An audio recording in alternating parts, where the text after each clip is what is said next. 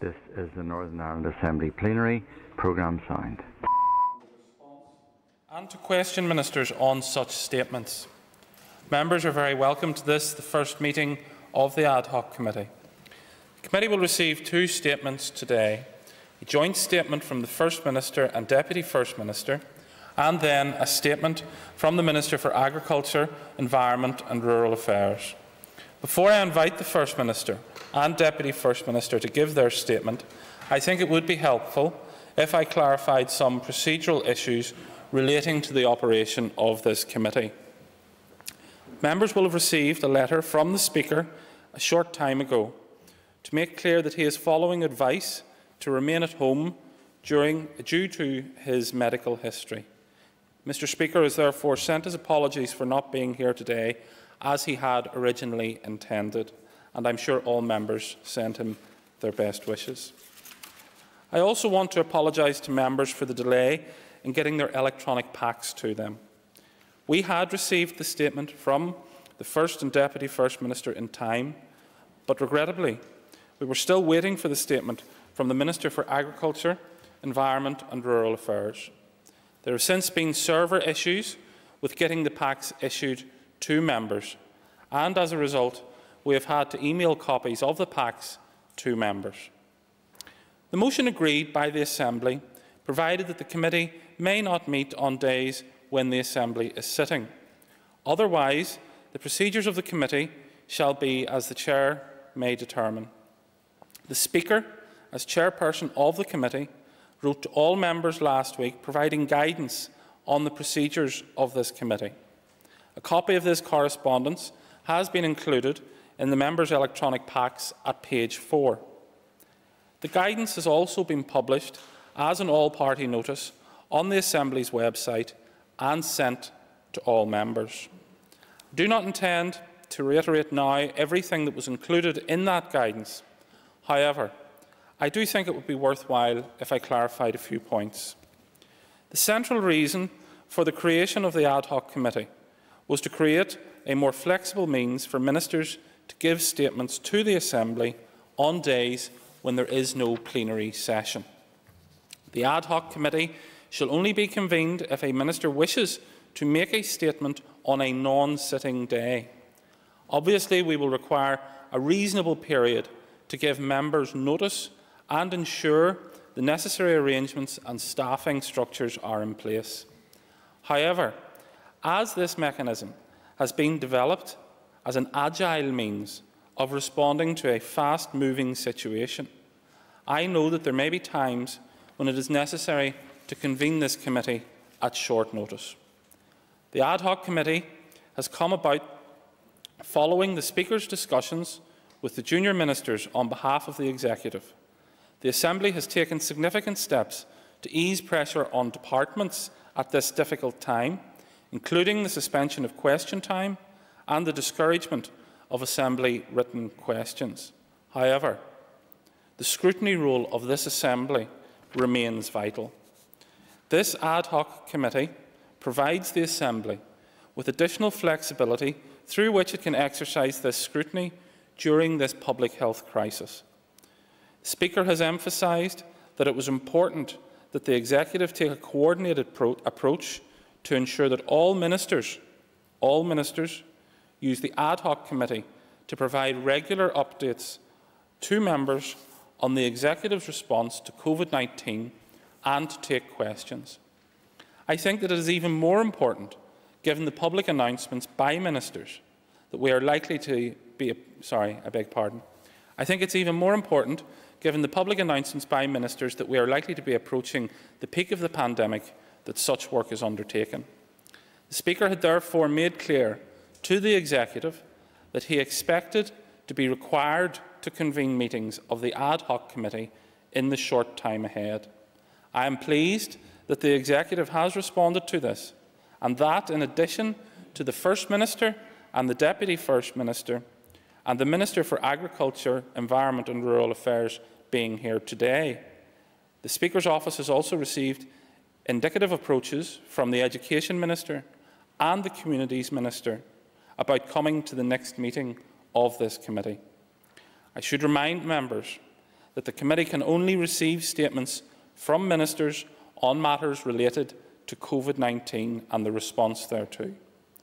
The committee can conduct no other business than to receive these statements and to question ministers upon them.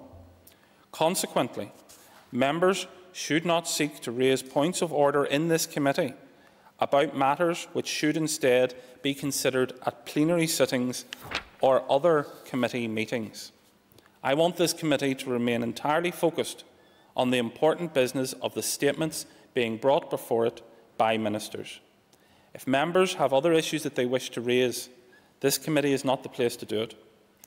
Before we move on, I want to lay out for the I want to mention the layout of the chamber for these committee meetings. Included in your packs at page 10 is a seating plan for the ad hoc committee meetings. This layout reflects the fact that these are committee meetings rather than plenary sittings. Ministers will therefore deliver their statements from lecterns on the chamber floor in front of the Speaker's table, rather than from their usual position on the benches.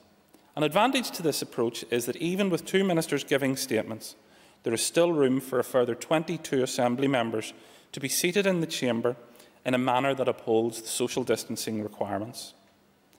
I would remind members that as per the guidance issued by the Speaker last week, it is for parties to manage attendance at this committee in line with the seating arrangements and thus ensure appropriate social distancing. Let us move on. Agenda item 2 is a statement from the First Minister and the Deputy First Minister. The Speaker received notification on the 3rd of April that the Ministers wished to make a statement to the ad hoc committee at today's meeting.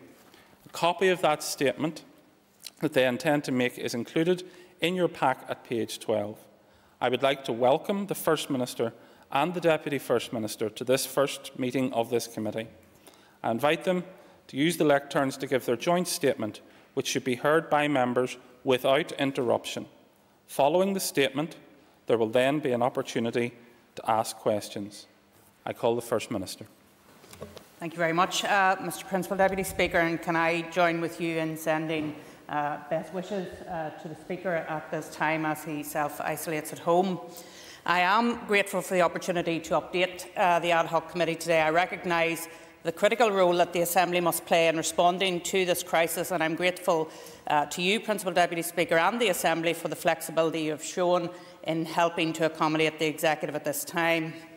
It is important that we all work together to respond to the huge challenges that we face. All in this House, I know, will wish to join with me today in sending best wishes to the Prime Minister uh, for a speedy recovery at this time.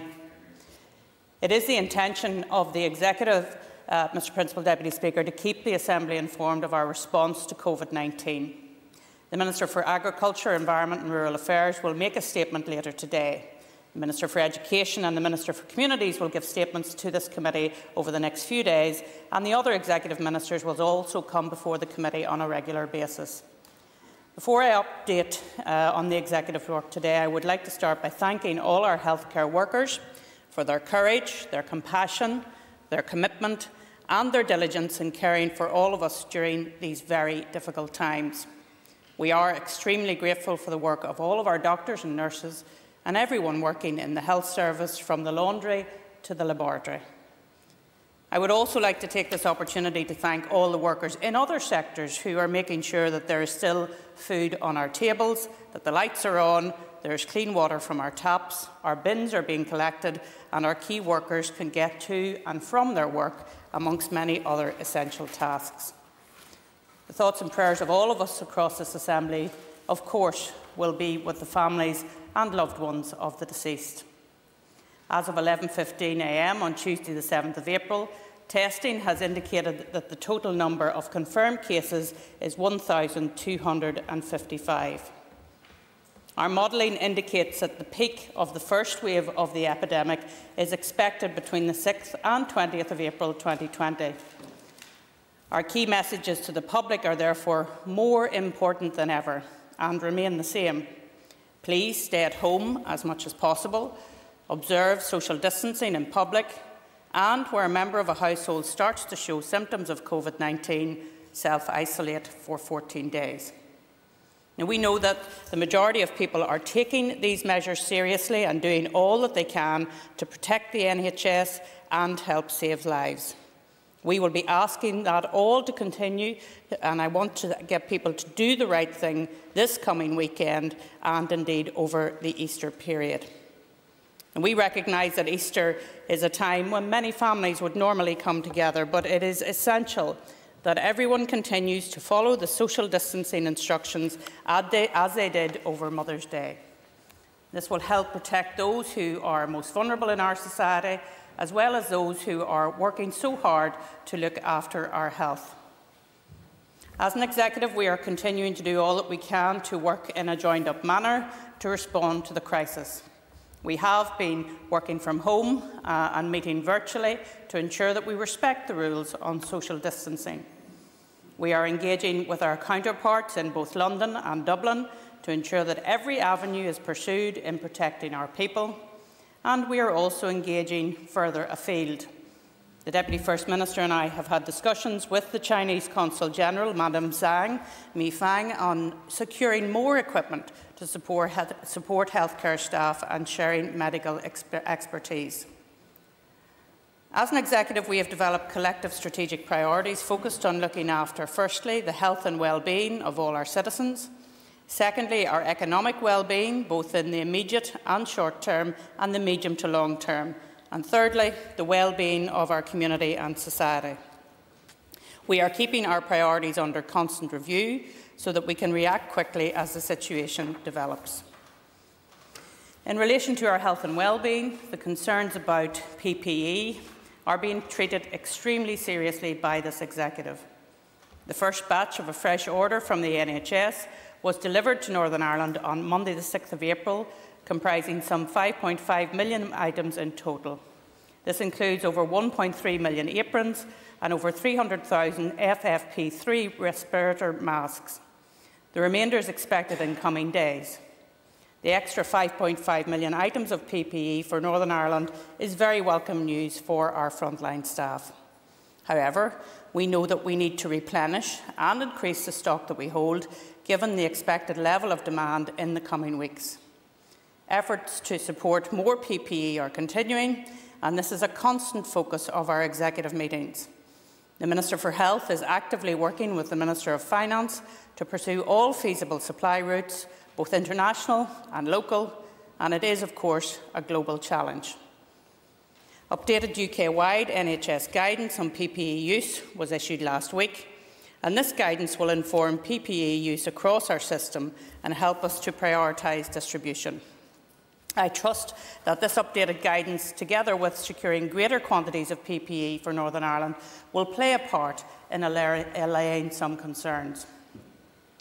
We recognise that other sectors are also facing PPE challenges and we have been considering their needs in our executive meetings and in our procurement efforts. I can assure the Assembly that there is no lack of urgency in this matter. We are doing everything we can to the best of our ability to get the right PPE to those who need it at the right time. I can also assure the Assembly that we are working equally as urgently on the important matter of testing. I'm pleased to note that testing for healthcare workers has now commenced at the SSE Arena. The Public Health Agency is involved in this testing initiative with input from the Health and Social Care Trust colleagues. This complements work undertaken by trusts to scale up their own testing capabilities. We will continue to expand the testing of healthcare staff as quickly as possible. We fully understand the frustration that more staff have not yet been tested both in the healthcare sector and indeed across other sectors. We understand that people are concerned about potentially unknowingly passing on the virus to their loved ones or those they are looking after. And we appreciate that people with COVID like symptoms are frustrated at having to self isolate while their colleagues are under pressure when the results of a test may have allowed them to get back to work. However, I can assure you that the difficulties in scaling up testing are not due to a lack of effort or will. There are significant challenges, including laboratory and staffing capacity, and the unprecedented levels of global demand for testing reagents and swabs. So testing and PPE are two of the challenges that the Executive are working tirelessly to resolve and at the same time we are facing multiple challenges across all departments. The Minister for the Economy has been working with the COVID-19 Engagement Forum to consider important social distancing guidance for our businesses. The Minister has also been working closely with the Minister of Finance to pay out grants to small businesses who are eligible for the Small Business Rate Relief Scheme. As of yesterday, 13,187 grants have been paid and 1,603 other applications were being validated. This will provide some much needed cash flow to businesses, and I would, I would, urge anyone who thinks their business is entitled to the payment but has not received it to use the online portal to register their details. Working closely with executive colleagues, the Minister for Infrastructure has made public transport free for all health and social care workers during this outbreak. This is a, a small gesture that will help make things a little easier for those who are on the front line in caring for us all during this pandemic. As we continue to support those who have been affected financially by this crisis, uh, the Minister for Agriculture, Environment and Rural Affairs has announced a substantial support package for our fishing industry to help the fleet survive this difficult period. And the Minister has also been considering the impact on the environment as he has established a COVID-19 waste group to provide support, guidance and regulatory direction to the waste sector who are providing us with essential services during this time.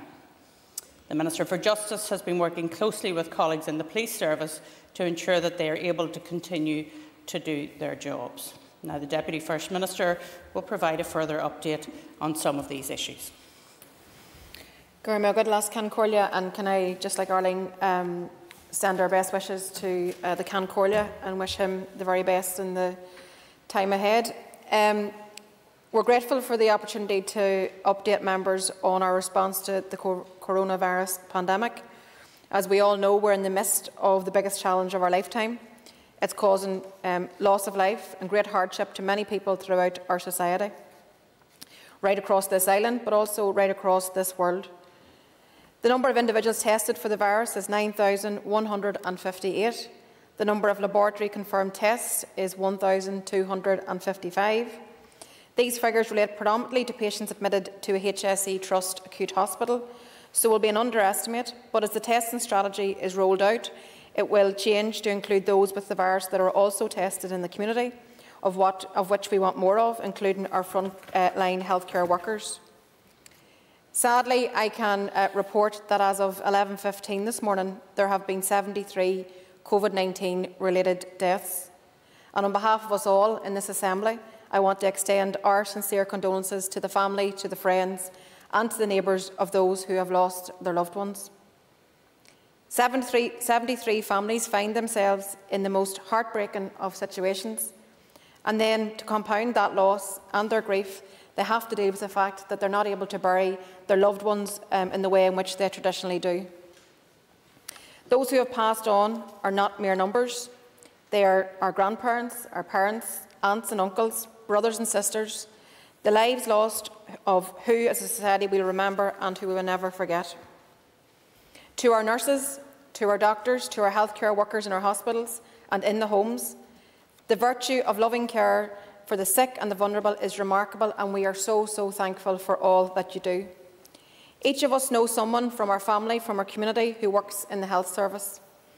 And we want you to know that we take huge pride in your professionalism, selflessness, courage, and salute your fortitude and dignity in combating what is a deadly virus. I am sure, like many others, were struck last night when one of the news channels reported the, the plight of paramedics. And I believe the lady's name was Tina Marie, where she talked about, um, she was given an assurance to families and she said that if I take, if we take your loved one out of your home, we can assure you that we will love them like our own. And I think that says it all in terms of the, the, the care that our healthcare workers are providing to those that we love. I've spoken to many frontline healthcare workers. You have said that you're frightened. You have said that you're worried about being able to do your job safely. You have said that you're worried for your families. But we want to say very clearly that we see you, we hear you, and we're working night and day to make sure you get the protection that you deserve. We can assure you that good progress is definitely being made in securing more PPE. and this remains a top priority for the Executive. We want to assure the public that the Executive is working tirelessly in our response to this pandemic. Our top priority has always been and always will be to save lives.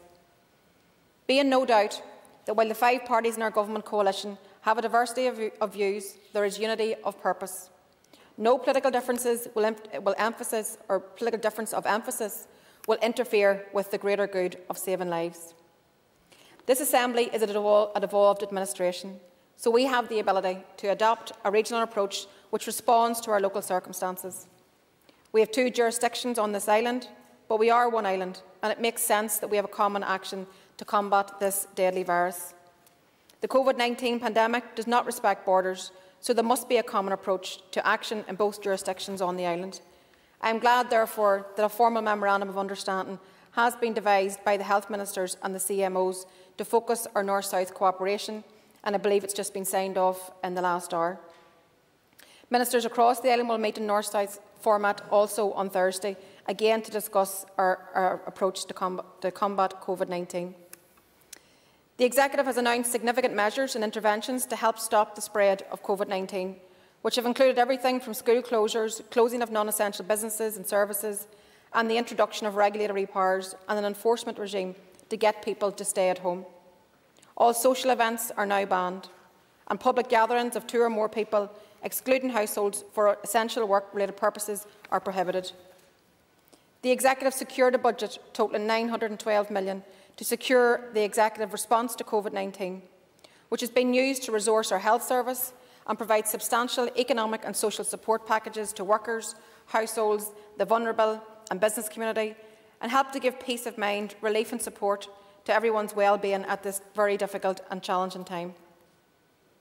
This week is when the surge in the spread of cases will occur, and our plea is for people to live by the law, to stay at home stop the spread, flatten the curve, and that's all about protecting our lives and our families' well-being. This weekend is Easter, and I know it's not going to be easy, especially with the weather being brighter, but people must continue to stay at home. People must listen and understand that this virus is spreading and it's killing people. But we all can do something about this. You must only go out of your home to shop for basic necessities, but only once a day at the most.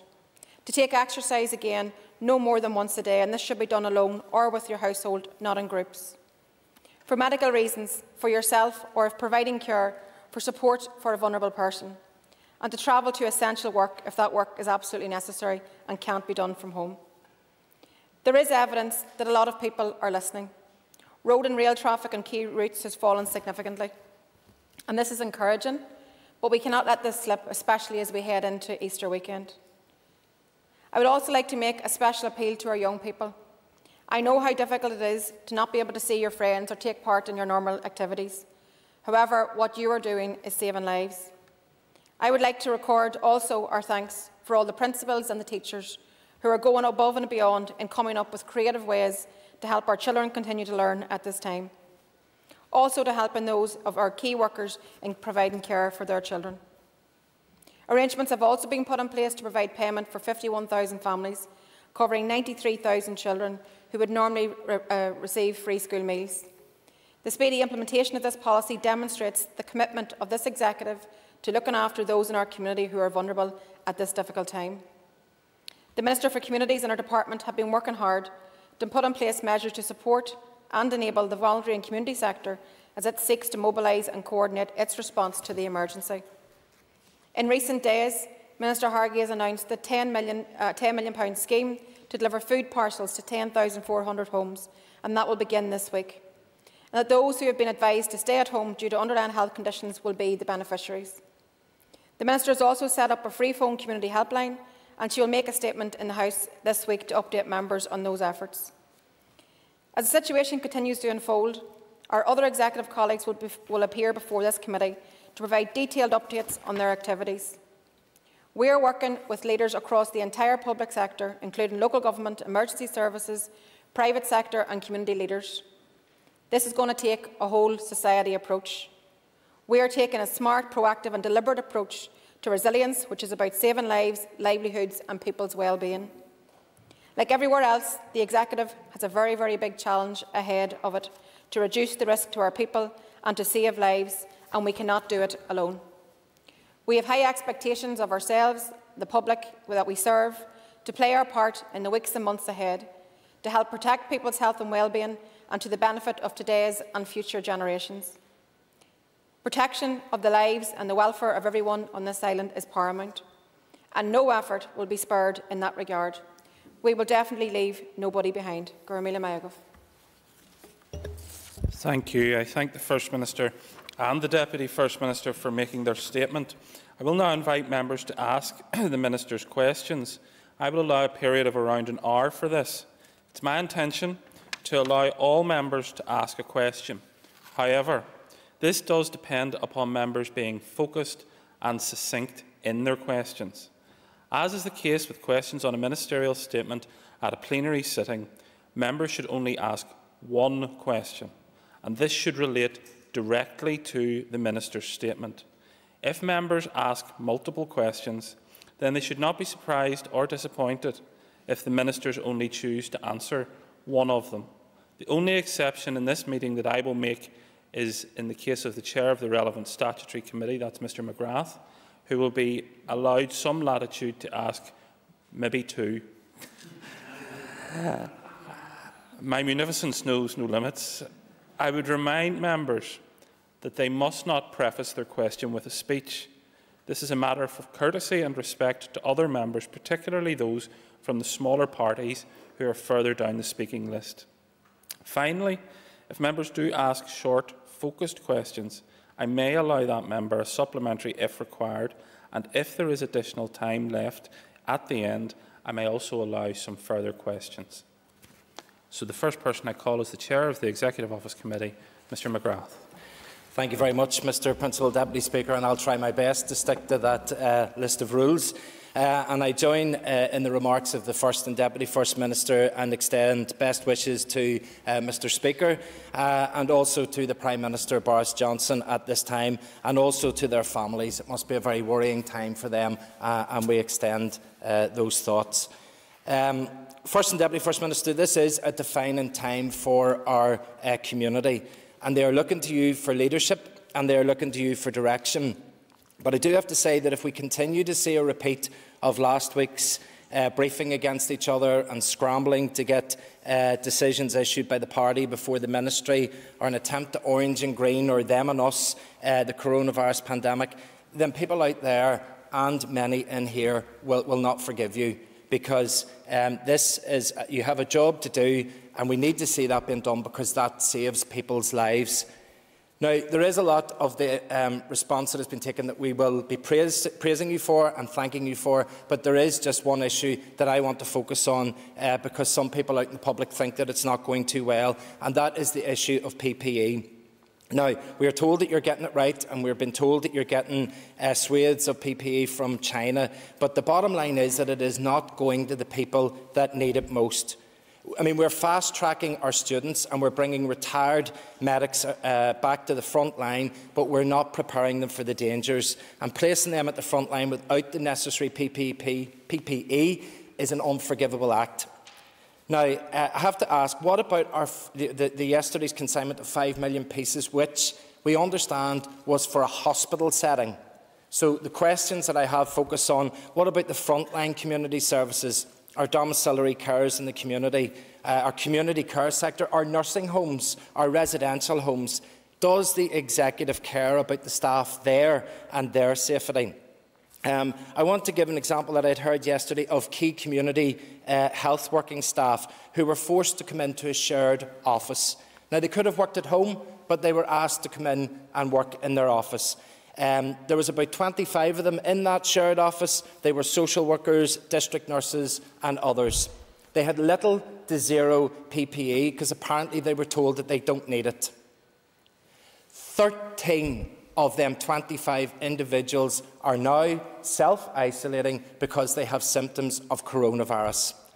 So First Minister, Deputy First Minister, I don't want any polished, pre-prepared answer that's in your pack. I want you to tell me this. Can you look them in the eye and say that you have done everything for them that you can? Do you value these staff and their contributions so much that you send them out to work afraid and scared because they don't have the correct PPE. Ministers, today, what is your message to them, our community nurses, our healthcare staff? Thank you. Well, I'll go first. Thank you, uh, Mr Principal Deputy Speaker, and I'm sure Michelle will want to add her perspective on this.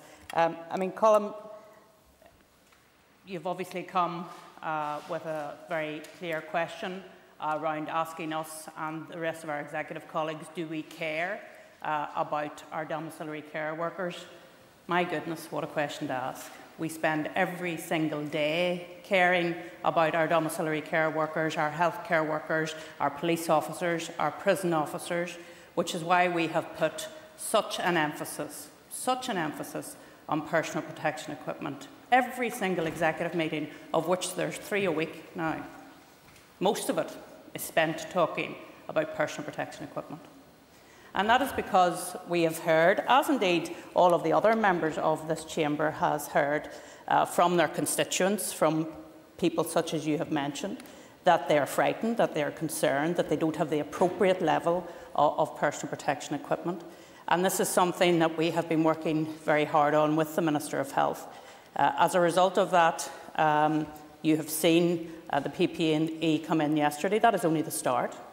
And you have rightly uh, indicated that that was identified uh, for hospital settings, but, as I understand it, uh, that will be distributed to the trusts, and then the trusts will then filter it down to everyone else within their remit, which includes the independent sector and includes domiciliary care workers.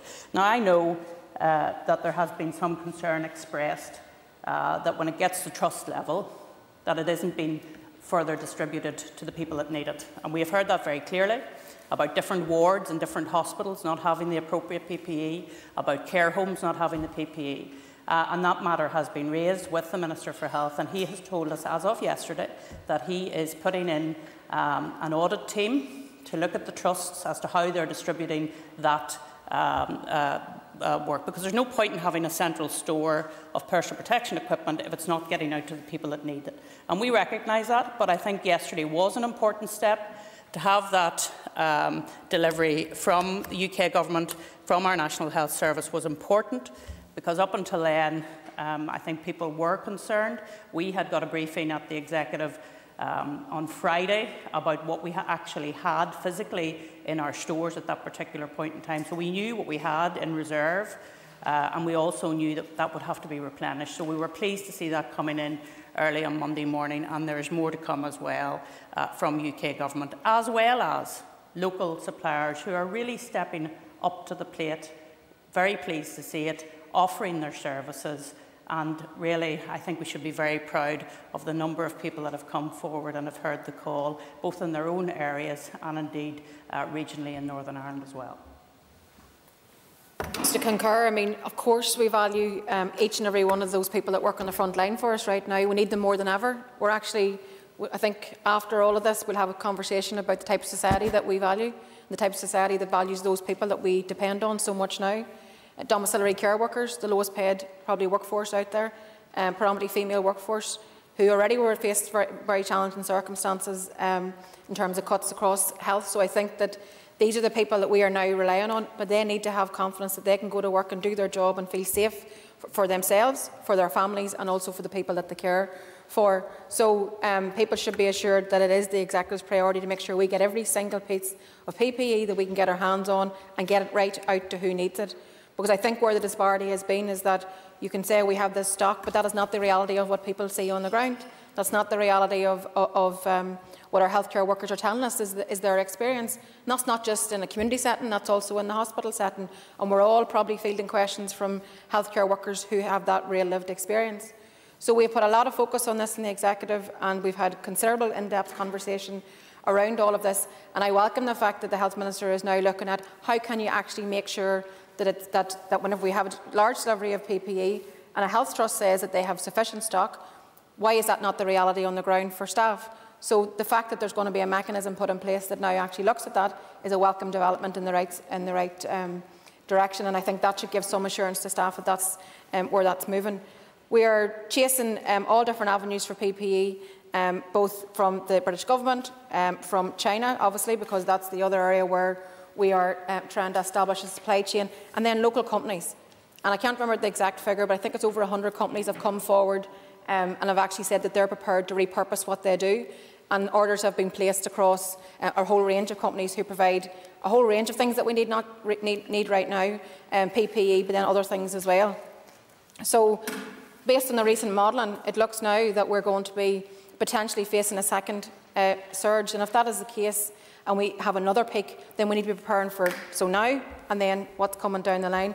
That's why our local companies are going to be really, really important in terms of that preparation um, as well. But the, the staff on the, on the ground, the staff who are working for all of us, for our families, for our, for our loved ones, for our communities, for our people, need to know that we're doing everything we can to get them what they need, and that is our uh, determination. Thank you. Before I call the next person um, to ask a question, I would remind members uh, Mr McGrath got a bit of leeway. The era of indulgence is now over because there's 19 people on the speaking list and people want to get asking a question. Mr Paul Givan.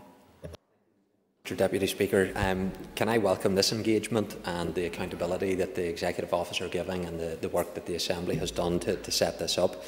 Um, can I also thank the, the First Minister for the very assured way that she's went about her business, the calm way, uh, but recognising the seriousness of what needs to be done and also ensuring uh, a collective approach is taken and her as First Minister giving leadership uh, in the Executive and publicly and I want to put that on the record, my appreciation for the way that uh, you First Minister have carried out that business. Uh, in terms of collaboration across uh, the Executive, wider into the industry and academia and the North-South connection and the collaboration East-West, First Minister, could you elaborate a little bit more just on how that collaboration is seeking to provide the solutions to the many problems that we're having to deal with in the face of this difficulty? Yes, so um, I think when you come to a time of crisis, um, there are always some people who really do step up to the mark, and we have seen that uh, right across the community um, since this terrible virus has taken hold um, to the amount of volunteers that have come forward to um, the NHS volunteer, uh, former nurses, former doctors, volunteering to come back into what is, uh, I think we all recognise, a frightening prospect for them. Um, you will know, Paul, that one of our own colleagues, Catherine Owen, has come back into nursing again. She was an auxiliary nurse and has come back in again. I mean, that's a really brave thing to do, and uh, I really do commend everyone uh, that has done that. And as well as that, of course, under the Minister for Communities. She has set up a, a Volunteer Now portal uh, and people can register there to come and volunteer uh, in other ways. But as well as that, we've seen uh, a great collaboration between industry, between academia, uh, people wanting to come to us in government and say, how can we help? Um, and there is a consortium including Queen's, the, the Ulster University, CTRIC up in Londonderry and AFBI uh, that's looking at how they can scale up diagnostic testing, for example. Uh, Randox and Deloitte uh, are looking at a, a UK-wide initiative on staff testing, and the SSE Arena is part of that UK-wide staff testing piece, so that, that's really good to see that. Uh, the Deputy First Minister has already mentioned that uh, there's a memorandum of understanding now between the two chief medical officers in the Republic of Ireland and here in Northern Ireland, and that again is about sharing information, um, looking at modelling, how we can model, because I think what's really important is to look at the data that we are gaining um, from industry, uh, from colleagues in the Republic of Ireland, colleagues in uh, Great Britain, and indeed here in Northern Ireland across all of our departments at the moment. And this is a very interesting point that I, am not sure members will be aware of, but all of our departments are gathering data and putting it into our central hub in the Civil Contingencies Group.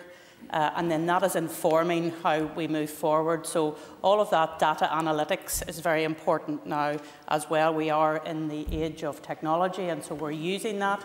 We're looking at our own modelling and we were very pleased when the Minister of Health brought forward um, mo the modelling for Northern Ireland recently, and uh, the Deputy First Minister and I had Professor Ian Young with us at a press conference just last Friday.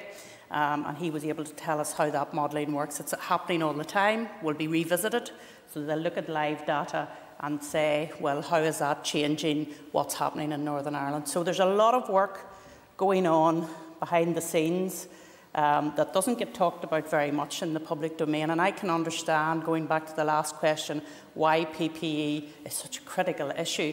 But there is so much other work going on behind the scenes which informs everything that's happening at the moment.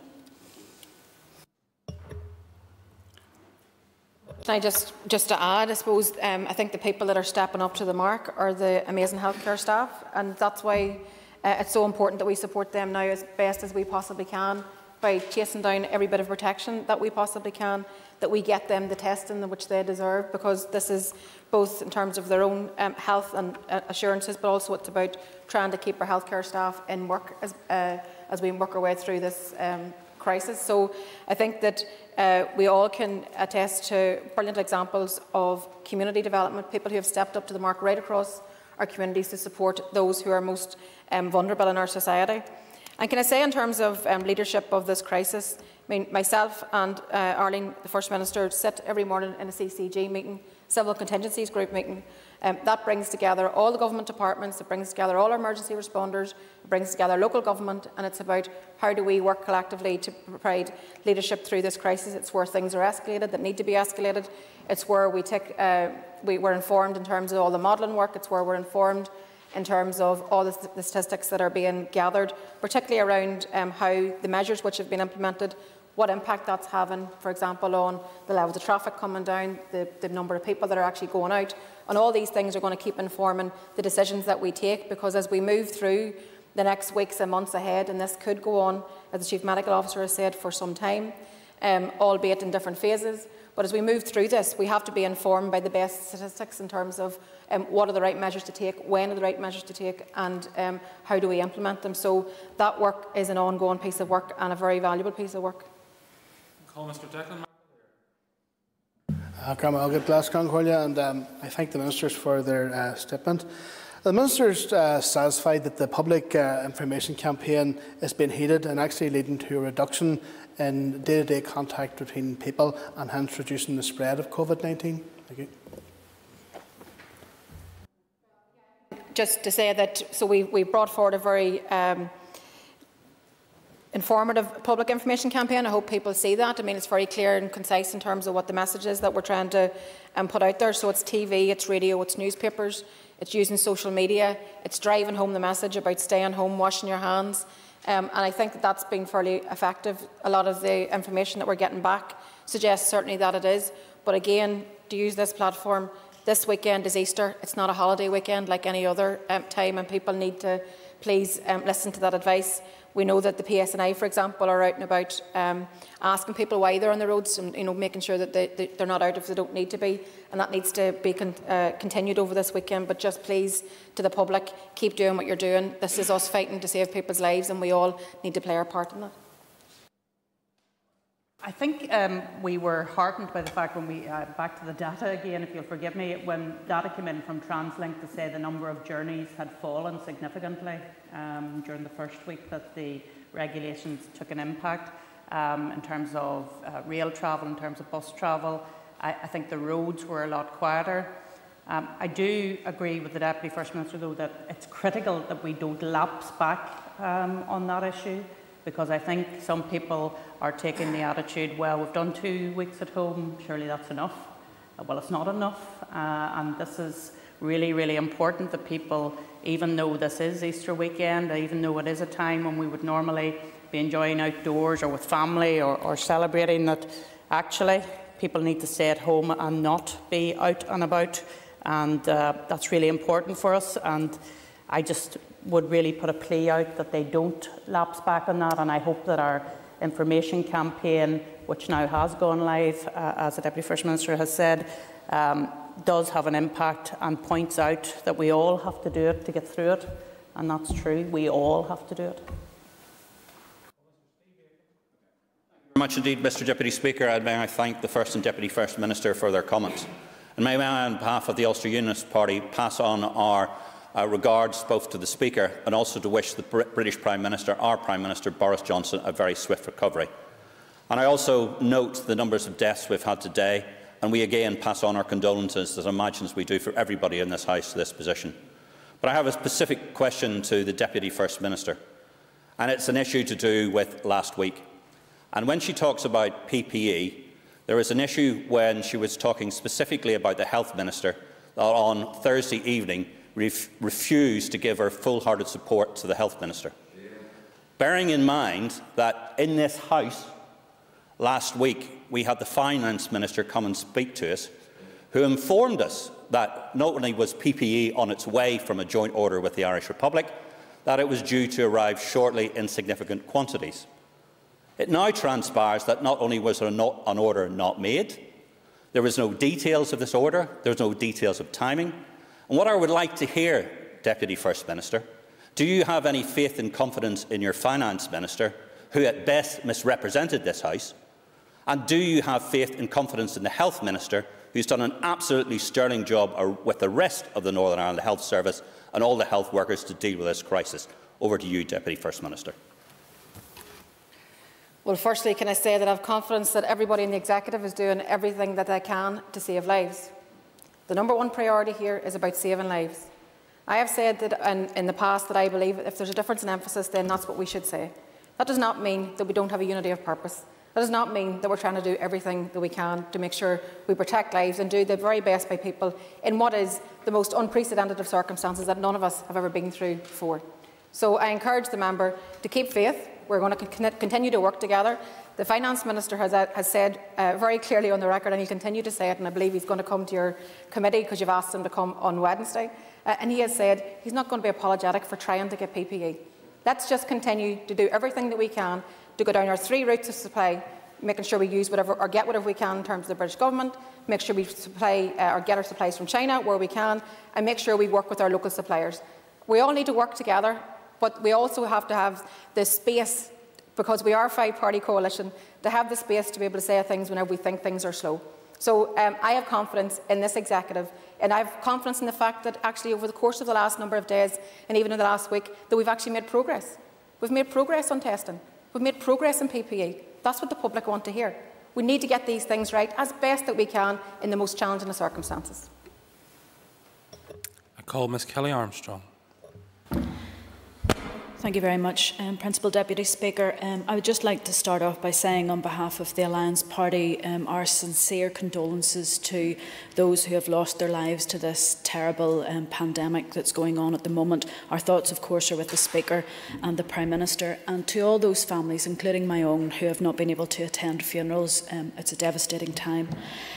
One of the things that has come forward is the fact that our executive is working hard. And I would like to take the opportunity, you'll probably not hear this too often from me, to say to both the First Minister and Deputy First Minister, thank you, and to all the ministers. We are facing a crisis, and thank goodness we are back and able to um, work forward through this. Um, one of the things I'm very aware of, and in fact this morning I was part of a, a discussion with Comres about um, the state of the UK with regards to this pandemic and what the effect that it's having not only on businesses but in individuals. And one of the thing that one of the things that has come very clear is people need peace of mind, and the, the Deputy First Minister has mentioned this already today. So in order to get that peace of mind, there are certain things I am going to ask you slight list, but it's all tied in together just on clarity. For example, do we know the financial assistance has been agreed yet for childcare provision? Has that come through the executive? We know that we're depending on the detail of the Budget Act in order for the welfare mitigations to be paid. When will we see that welfare mitigations um, legislation coming through? The £25,000 business grant is something that our businesses desperately need. And I have to make a very clear call out for constituencies like mine that are holiday places. Um, I have caravan parks where people are trying to get round the legislation by claiming that that's their permanent um, place of residence and it's bringing tourists to areas where we definitely do not need them. Any other time I'd be saying tourists please do come to the Ards Peninsula but now I'm saying please stay at home because you're putting at risk those very vulnerable older people in villages and coastal areas. So I would ask you ministers if you can give us any further um, clarification on those points. And I would like to wish you both, because I'll not get to ask this again, um, a very happy Easter. And I hope that we're all back to this chamber together as 90 again. Thank the member for her uh, comments and happy Easter to her too, and indeed to, to the whole House.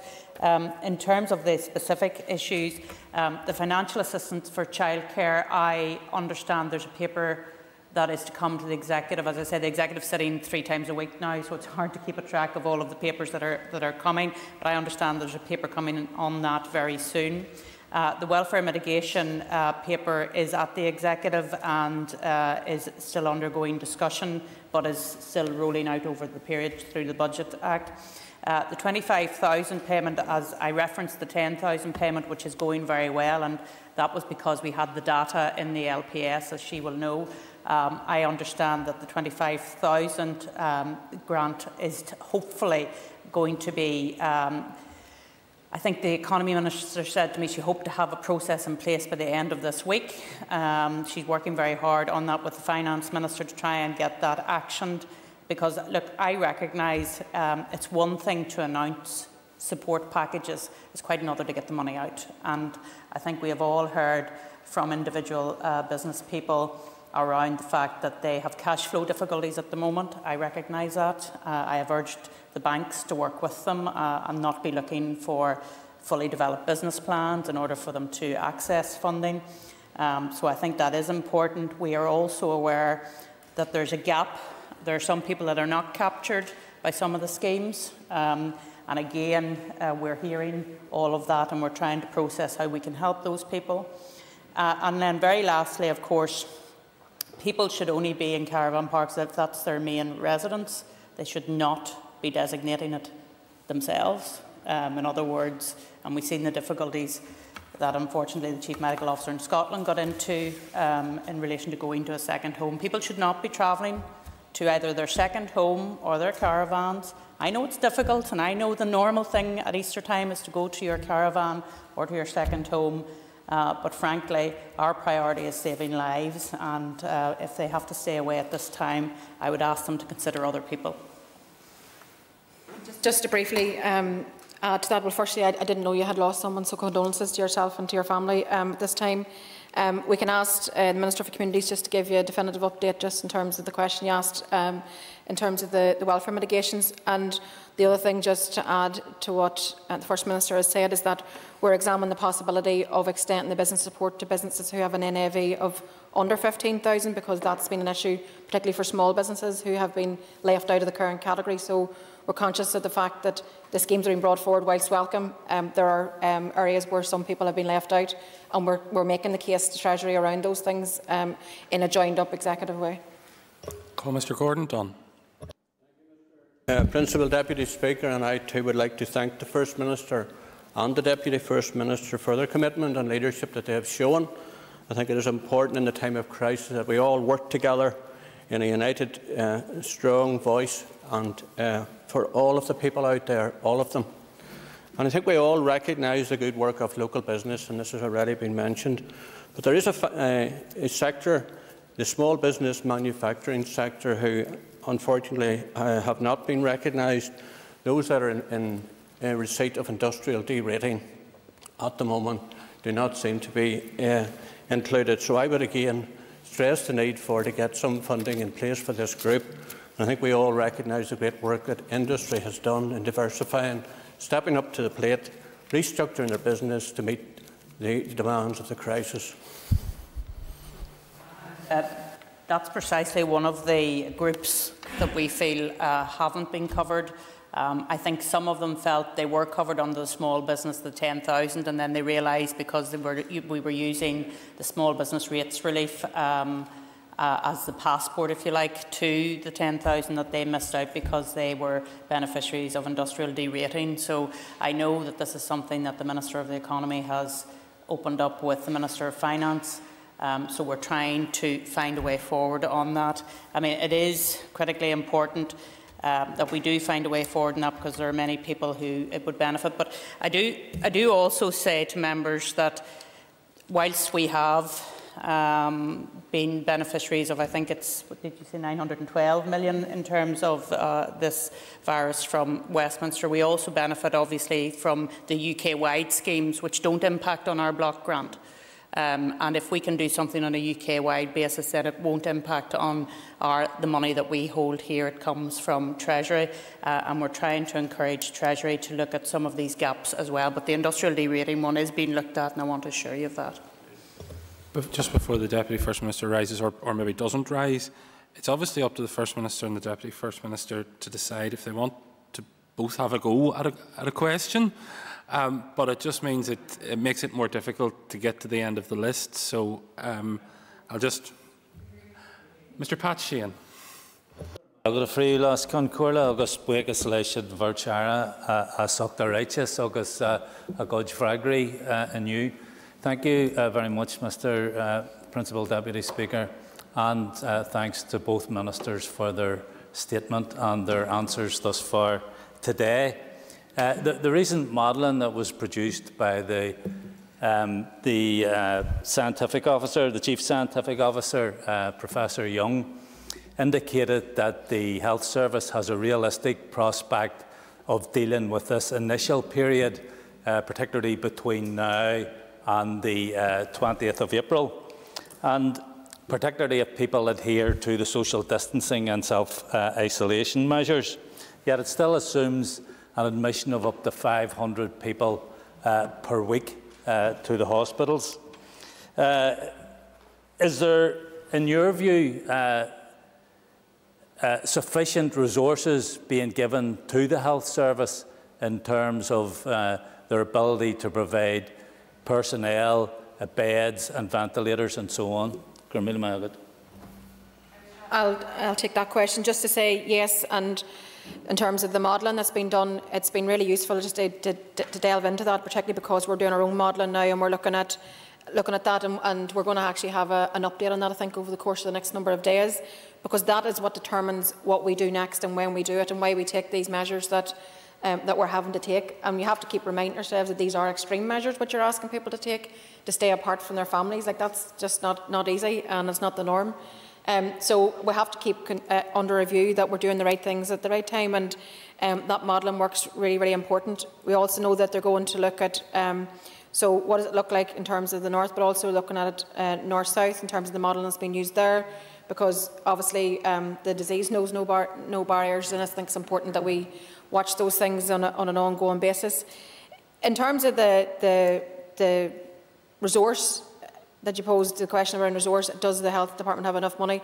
Money isn't the, isn't the issue here. We have said that we will find whatever is required. Um, I think one of the very first things that the finance minister said to the to all departments in one of our early executive meetings was to throw the rule book out the window. This is not normal times. We as an executive can't behave like normal.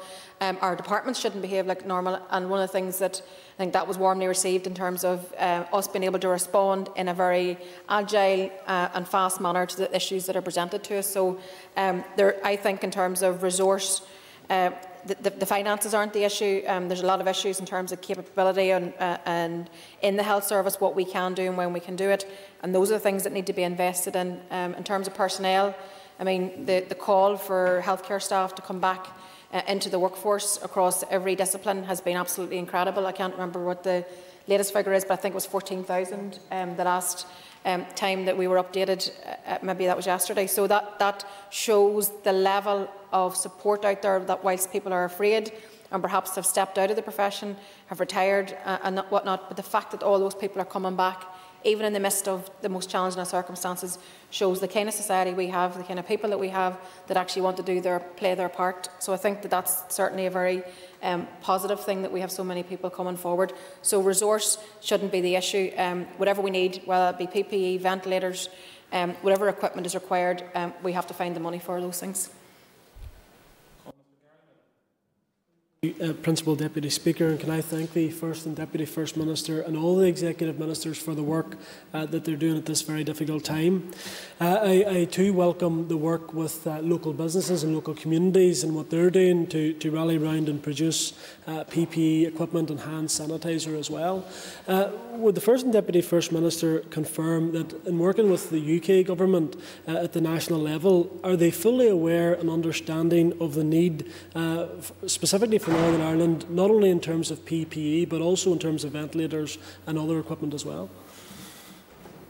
Okay, um, and thank the member for his question. And you're absolutely right about our local producers. It's not just uh, around PPE and indeed scrubs and uh, everything that's necessary there. But in terms of some of our local distillers, they are uh, instead of making gin, they're making hand sanitizers, and it's been quite incredible to see the way in which people have repurposed their businesses um, over this past number of weeks and, and really quite heartening.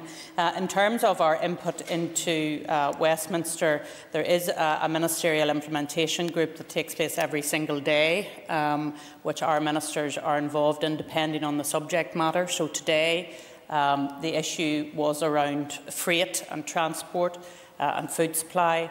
Uh, and as I understand it, the junior ministers uh, are usually there all of the time, and then um, the Economy Minister and the Infrastructure Minister, and I think the Agriculture Minister was on that call as well. So there is very much a good flow of information uh, between ourselves and Westminster, uh, and therefore I would very much say a very good understanding.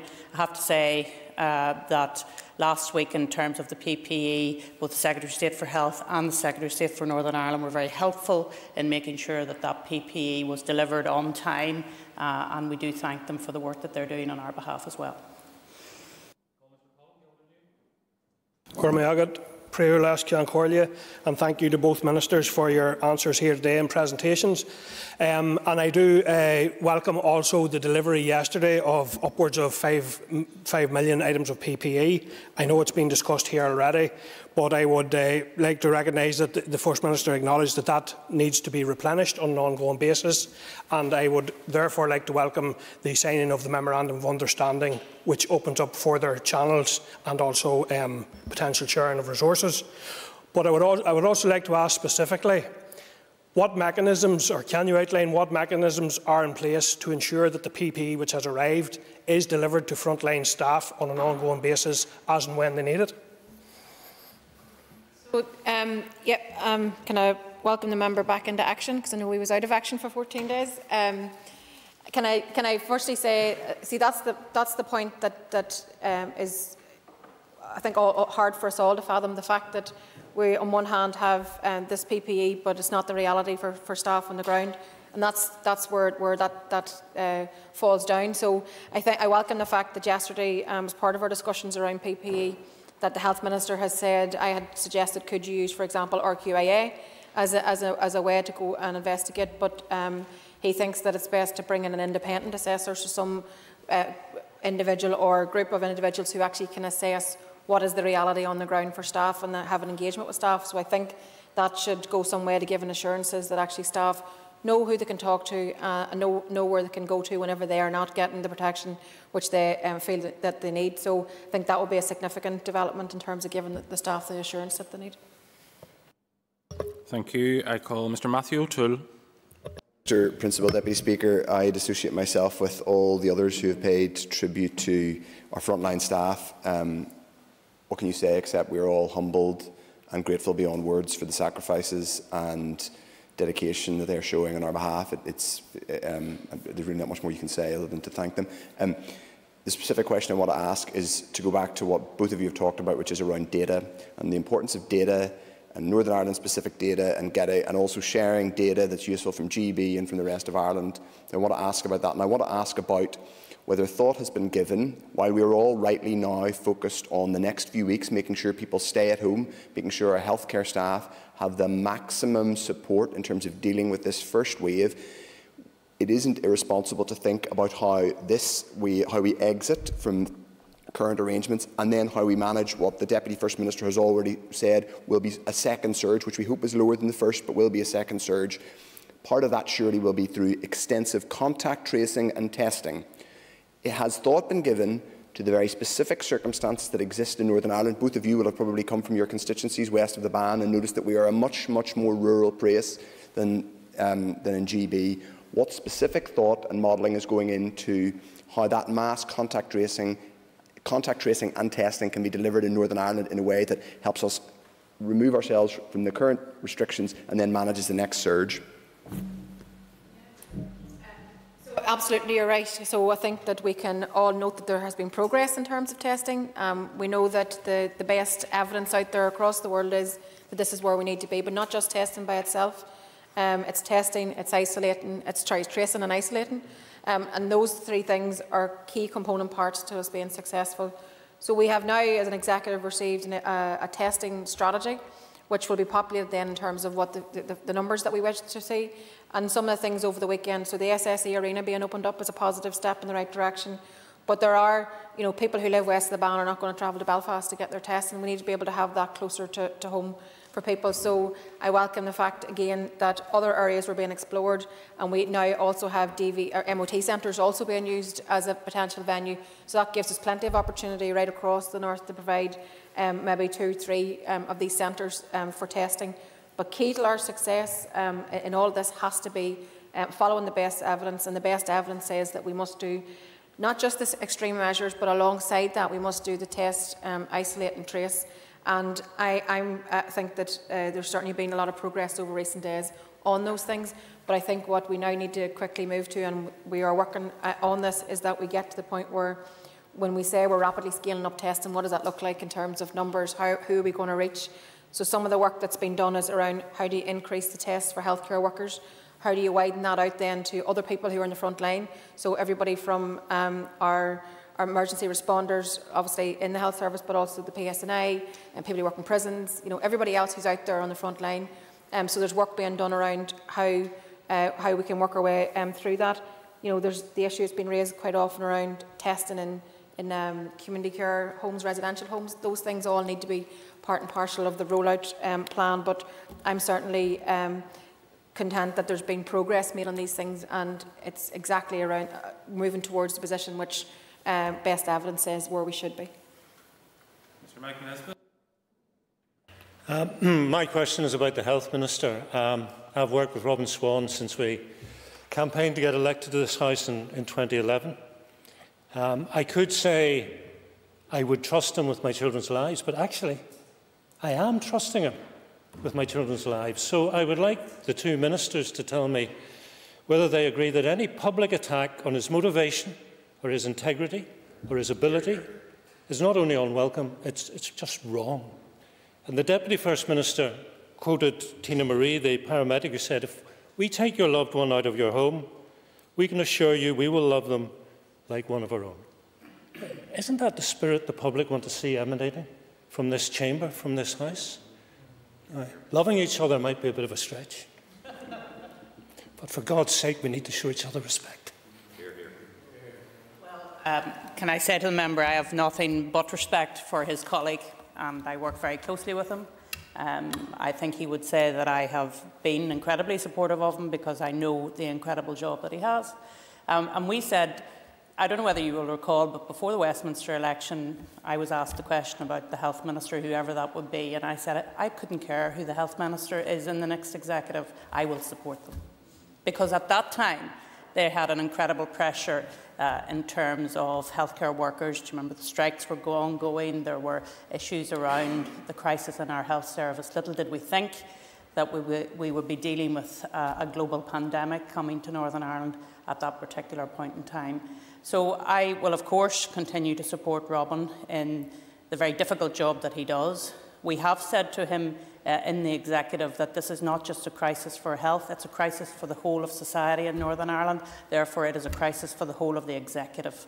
Uh, and we very much recognise that. And I think that he is continuing to do a very good job under pressure that no one should have to face. And let me take the opportunity again to completely condemn the sectarian, vile attack that was directed at him and his family on Friday. Um, when I seen the details of that, I have to say uh, I was outraged, and let's be honest, I've seen many a threat in my time, but it was completely wrong and has to be condemned uh, in, in the strongest possible way. So he does, of course, have my support. And can I, can I also say that um, you know, firstly, to put on record, as I did at the executive meeting, that the abusive commentary that Robin received and his family received was disgusting and uncalled for, and rightly so that the PSNI are involved in, in, in dealing with that. No minister going about their job deserves to have that kind of uh, attack towards them. So um, I've said to Robin directly that, that I um, wholeheartedly condemn that attack. Um, we are committed to working together. We have unity of purpose in terms of trying to save lives. That's the executive number one priority. This is not about individuals, never has been. This is about the issues. This is about difference in emphasis. We are a five-party executive. We are going to have differences in terms of approaches. Um, I've always been on record as saying we need to do more testing, we need to do more in terms of PPE, that the reality was not what was experienced on the ground, was not what was being expressed. So I'll call those things out, but that does not mean we can't work together. I will continue to work with Robin through this crisis because I tell you, we all need each other more than anything now because we need to work our way through this in the best possible way that we can to support people. Number one priority, the only priority, is saving lives. That's all of our focus, that's all of our effort, effort, and that's why I've said that I have confidence in the fact that all of our ministers are working together to bring us to the, to, through this crisis. Um, because we, we will come through this, and then we're going to have a lot of work to do to build a society again. A lot of families left without their loved ones, and we're going to have a lot of building to do, and we're going to have to work together through this and on the other side of this.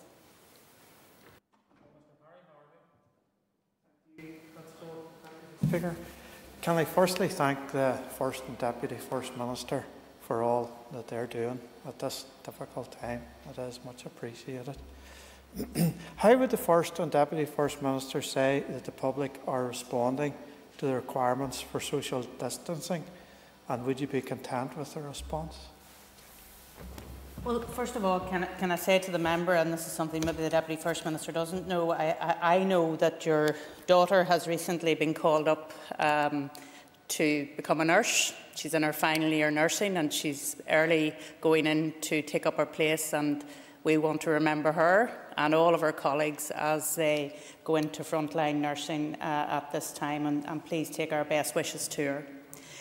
And in terms of social distancing, as I've said, I think initially um, the social distancing message was taken uh, indeed, I, am sure I'm not alone when I say I received messages from people who were complaining that so and so wasn't social distancing and what was it we could do to make sure that that happened. Um, and there was quite a bit of that. But I, I do register a little concern that I think there may have been a slipping back of that uh, because as time goes on, people think, oh, well, we're, we're coming through this, we're, we're going through it.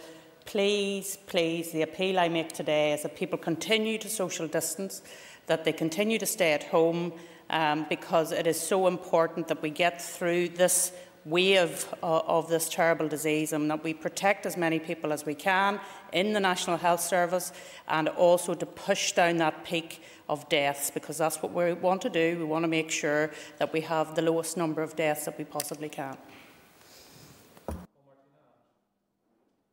Alas Cola, and uh, I want to thank the, the ministers for, for their statement. And you've made reference to the number of tests that have been done, and we know the PHA surveillance report shows that less than 10,000 people have been tested. And there was the SSE arena mentioned in Seatrick and Derry, where carers who are in residential care homes who are symptomatic or have been able to get tested there. But unfortunately, the vulnerable residents in those homes who are symptomatic have not yet been tested. And therefore, I would like to ask the ministers if they agree as a policy that we need community testing done in order to, the, ensure that there's contact tracing uh, to detect who has COVID 19 so that we can trace who has it and then isolate and in order to flatten the peak and to, to stop the spread and to enable frontline workers who want to return but who are isolating and maybe don't know that they have got COVID 19 or not to return to work. So, test, trace, and isolate, as you mentioned, but I think we need it as a policy and community testing, and people are crying out for it, as you would know yourself uh, across the north. People are demanding that, that we take that forward. Um, yes, I mean that that that is uh, my position, and I think it's certainly um, in terms of the the work that's been done on ramping up testing and rapidly um, scaling up testing, it talks about uh, moving towards that position, and that's where we need to be. Um, we also have, when you look again at examples around the world of how this has been done successfully, we have um, so many people out there that want to play their part from all the sporting codes who saying, what can we do? Can we help? Is there anything we can do? Um, with so many offers of people, if we're going to be dealing with this, which we will be for um, probably the next year, um, then I think that it's important that you know the next two weeks the focus is completely about the surge and how we actually respond right now. But we have to get to the point where we're doing the full testing, which is, and isolating and, and tracing, because uh, it's going to take us that considerable period of time to come out the other side of this. I think care homes are an, an area of particular concern, and again.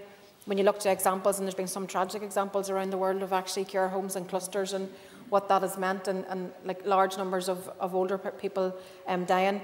We need to send out a cl clear message to, to society that we value everybody in society and that uh, we're going to do everything we can to make sure that we protect all those people, uh, including those in nursing homes who need our help now more than ever.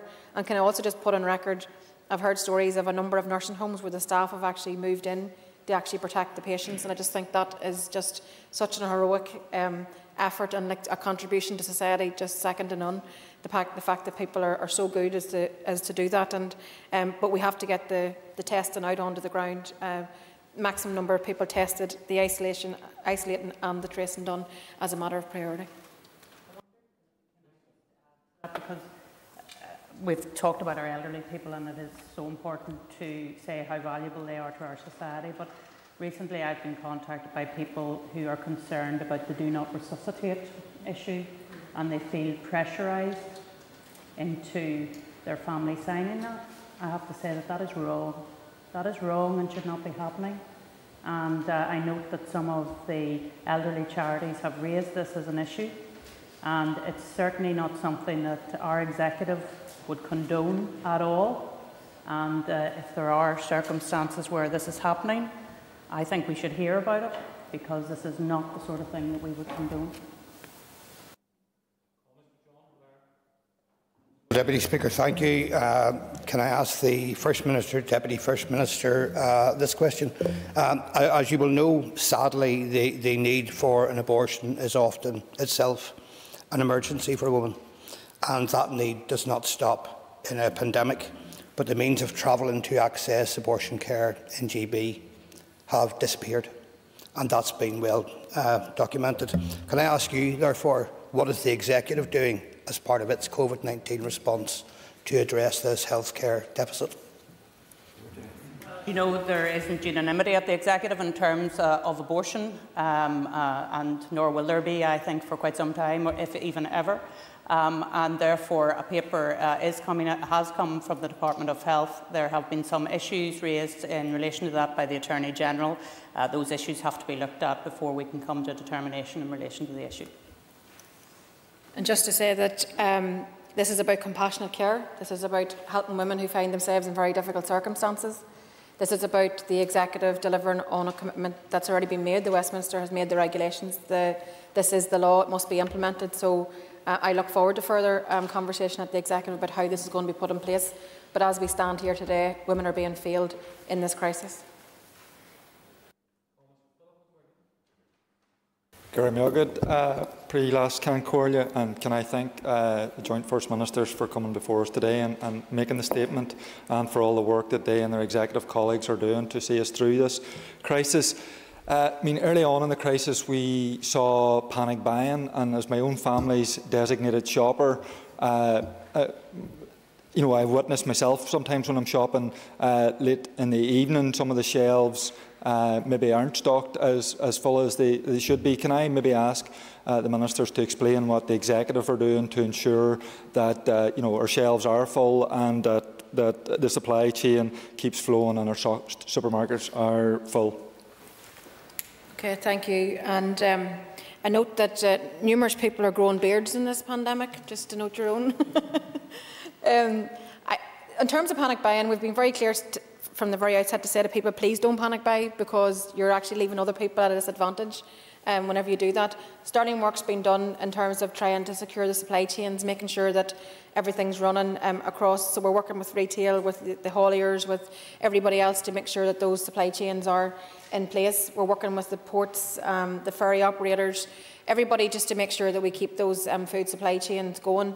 Um, I, am confident that, you know, whilst you might not always have the same choices you always have, but you'll certainly have a supply of food, um, so people shouldn't be panicking. And not everybody can, can, can, can go in and bulk buy. Some people live you know, week by week and their income um, dictates that. So that means it's really challenging. And very worrying for people. Actually, you're dealing with the crisis in itself, but then if you're panicking that you can't get your children the food that, the, that, that they eat, for example. So um, please um, encourage the public again just to say that supply chains are continually reviewed. We're, we're constantly uh, working our way through that to make sure we have adequate supply.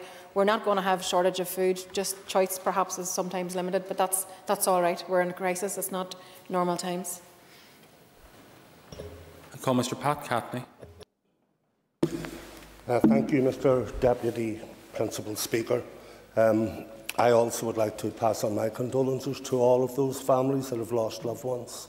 Uh, we know here in Northern Ireland and in Ireland the importance of AWAKE and how, how that can bring great comfort to the families. Um, may I just also say on a back note that we as an Assembly, I'm sure in the future will find an appropriate way of coming together so that we can help those families through that grieving process. And that's something that we all could reflect on in the, on the future.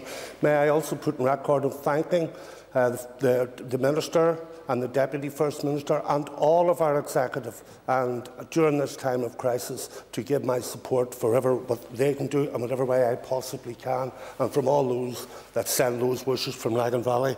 Given the World Health Organization crisis in COVID-19, uh, can be caught from showing only, it can be caught from showing only mild symptoms. And I'm sure that both of you would agree with me, and it's more an acknowledgement than anything else, that the domiciliary care workers and the porters and the other hospital staff uh, the, and care workers maintain the recommended safe distances required under such circumstances, and therefore the current guidance of PPE exposes these critical workers who travel from one vulnerable person to another and the risk of infection.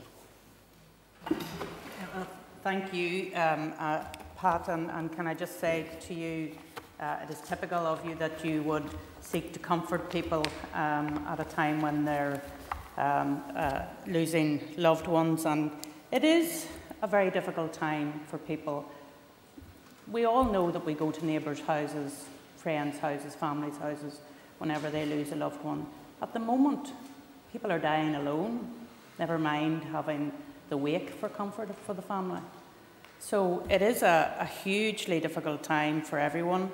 Um, the grieving process has been very badly interrupted, and uh, I think we will have to deal with all of that in the future uh, as to how we help people to get through all of that. And just for information, the Deputy First Minister and I have been talking to mental health professionals about what happens after, um, how can we support people because for uh, many people there will be mental health issues, uh, not least for our frontline staff, who will have to see things that they probably would never want to see.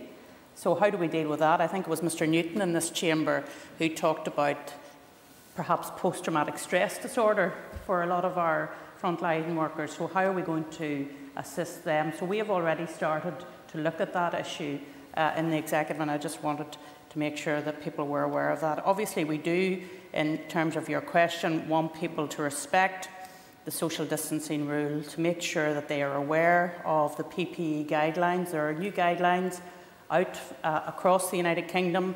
Uh, they have been uh, confirmed by the World Health Organization um, in terms of what the way in which PPE should be distributed and worn. So I hope that that new guidance will again go to reassure people regardless of what level of PPE they require. Mr John O'Dowd. And in, relation to the previous comments from the member, it's worth noting that everyone who dies alone as a result of this virus will have caught the virus off another person.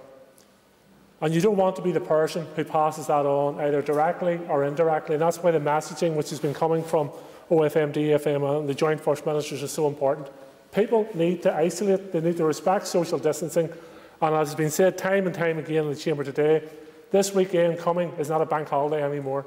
It's about saving people's lives.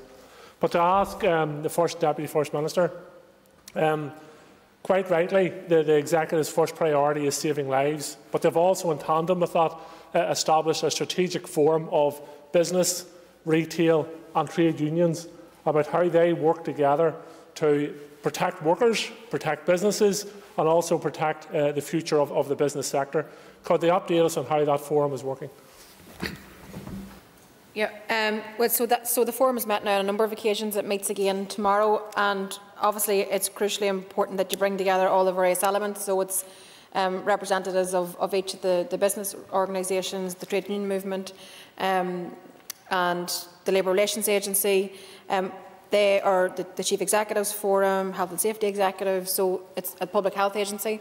So it's all the relevant people working together, and the forum um, is, is, going to meet again tomorrow. But some of the things that they're working on is um, the essential workers uh, list. What are the who are the essential workers? Because I think that uh, clarity is um, vitally important. And then the other area that they're working on is around safety in the workplace. So anyone that has to be in work, there's going to be um, some guidance brought forward um, on that. So we expect that over the course of the next number of days that, um, that there'll be uh, a body of work brought forward, probably under the, the Economy Minister, just to give more clarity around that. But it's certainly been focused around this whole area of who is the essential worker and then the essential worker, how they're protected in their, in their workplace. Principal Deputy Speaker. Um, and first, I want to take this opportunity actually to congratulate Gráinne Close and Shannon Sickles, and also Christopher and Henry Flanagan Kane, the first two same-sex couples in the UK to enter into a civil partnership because it was their bravery and tenacity in fighting through a judicial review at great personal expense to overturn our ban on same-sex marriage led to their ruling this morning in their favour from our courts, where we're yet again being told that personal and religious beliefs are no grounds for discrimination. The member is out of order, and I'm going to ask the member to resume her seat. I'm asking the member to resume her seat. So I'm going to ask it, a question now, Mr. Could you Speaker, please resume your seat for just one second? At the start, I said that questions should be related to the statement made by the First Minister and the Deputy First Minister. There will be other occasions, I'm sure, where these issues can be discussed in the House. Could you please direct your comments to the statement by the First Minister and the Deputy First Minister? Thank you, Principal Speaker. Apologies. But this House also knows that the law on abortion has also changed, and I note the, the comments and questions from our colleague um, earlier as well. Um, but given that it was the Attorney General who led the legal team who lost that case that I just referred to, can I ask the Ministers if they can give us any reassurance that they'll be seeking wider legal opinion immediately? Um, given that the Attorney General on several occasions, on many occasions, has stated his own personal opposition to women being allowed to access abortion in Northern Ireland? Uh, one moment, one moment First Minister. Given that no part of either of those questions related to the content of the statement given by the First Minister or the Deputy First Minister, you're under no obligation to respond. If you wish to, you may. I, hope the member is not calling into question the advice which the Attorney-General is giving to the Executive in his capacity as legal advisor to the Executive, because of course that would be a very, very uh, serious charge for a member of this House to make. The Attorney-General has a role to play and he has sent in serious concerns. And can I say to the member, I'm standing here today trying to save lives. That's what I'm focused on, saving lives, and I hope that everybody else is as well. Can I, can I say to the member that we need to uh, have a society that's compassionate, that provides compassionate healthcare to everybody, including women who find themselves in uh, very difficult circumstances. Uh, legislation has been brought forward in Westminster um, because this Assembly didn't uh, deliver in terms of the legislation that was required. Uh, the Health Minister now has an obligation to put that into place and I'm quite sure that there are a number of um, representative groups out there that would legally challenge um, if, if, the Department does not do uh, what it needs to do in terms of bringing those, legislation, uh, those regulations into place.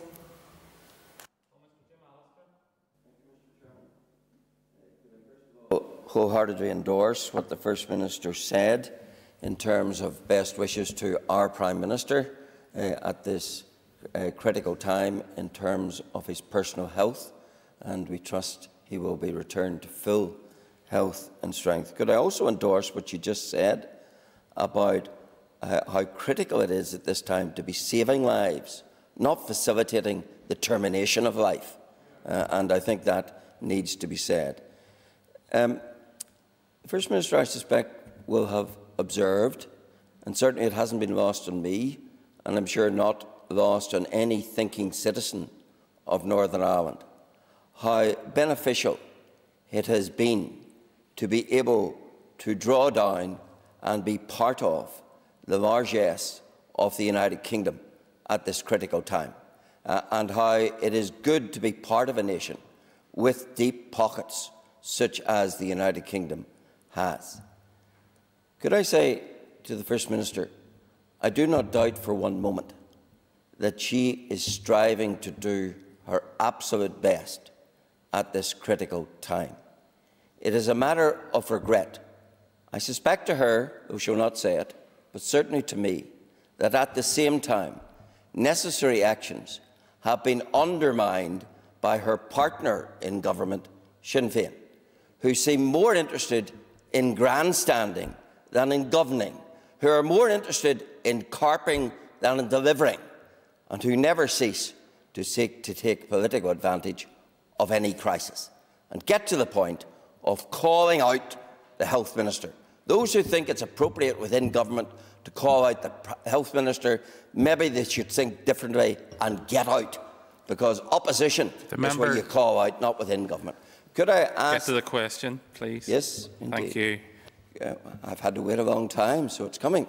Uh, Mr. Chairman, could I ask on that theme of dysfunctionality within the executive a question pertaining to the many companies in Northern Ireland who are still in the dark about their entitlement to be open? Companies that can safe distance. Has the executive yet got advice for them which is agreed as to whether or not such companies can be open? We've had the vilification of Ulster Carpets from the Deputy First Minister. Can we have the united guidance as to whether such companies are entitled to be open? I know we have this forum, but I know that's a talking shop. It's been talking for I 10 days. Mr. Is there a resolution the member on this resume issue? his seat. It's the sort of thing that people need an answer on. This is twice I'm starting to regret making sure the smaller parties get in all the time. If we could, I think they got your question. I'll call the First Minister. Yes, so uh, in terms of the regulations that were uh, put out, um, if I can say to the member, there are those businesses um, that are closed, um, retail businesses, businesses like that. He will have seen them listed in the regulations. Uh, there are those businesses that are, of course, uh, essential because they're in the perhaps supply chain to health uh, or in the food supply. Uh, those are essential. But then there are those, and he has mentioned those, uh, businesses that are still able to function and have an order book and are keeping people employed.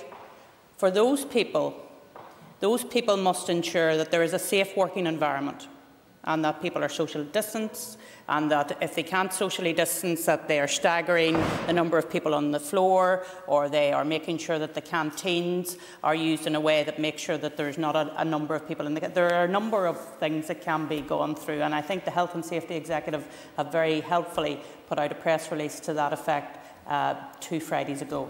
So there are companies that can continue as long as they make sure that they are looking after the safety of their workers because I think he would agree with me that that is paramount at this particular point in time. I say to the member that the only advantage I seek is the advantage of the healthcare workers who need PPE and who need testing. Um, I've also said that uh, the executive's number one priority is about saving lives. Sinead, that's it. It's about saving lives. That's what we're trying to do here. So I think that uh, the member would, should remind himself of that on a continual basis. Call Mr Gerry Carroll. Uh, thanks, Mr Speaker. I want to ask the First Minister, she says that 5.5 million items of PPE has been secured.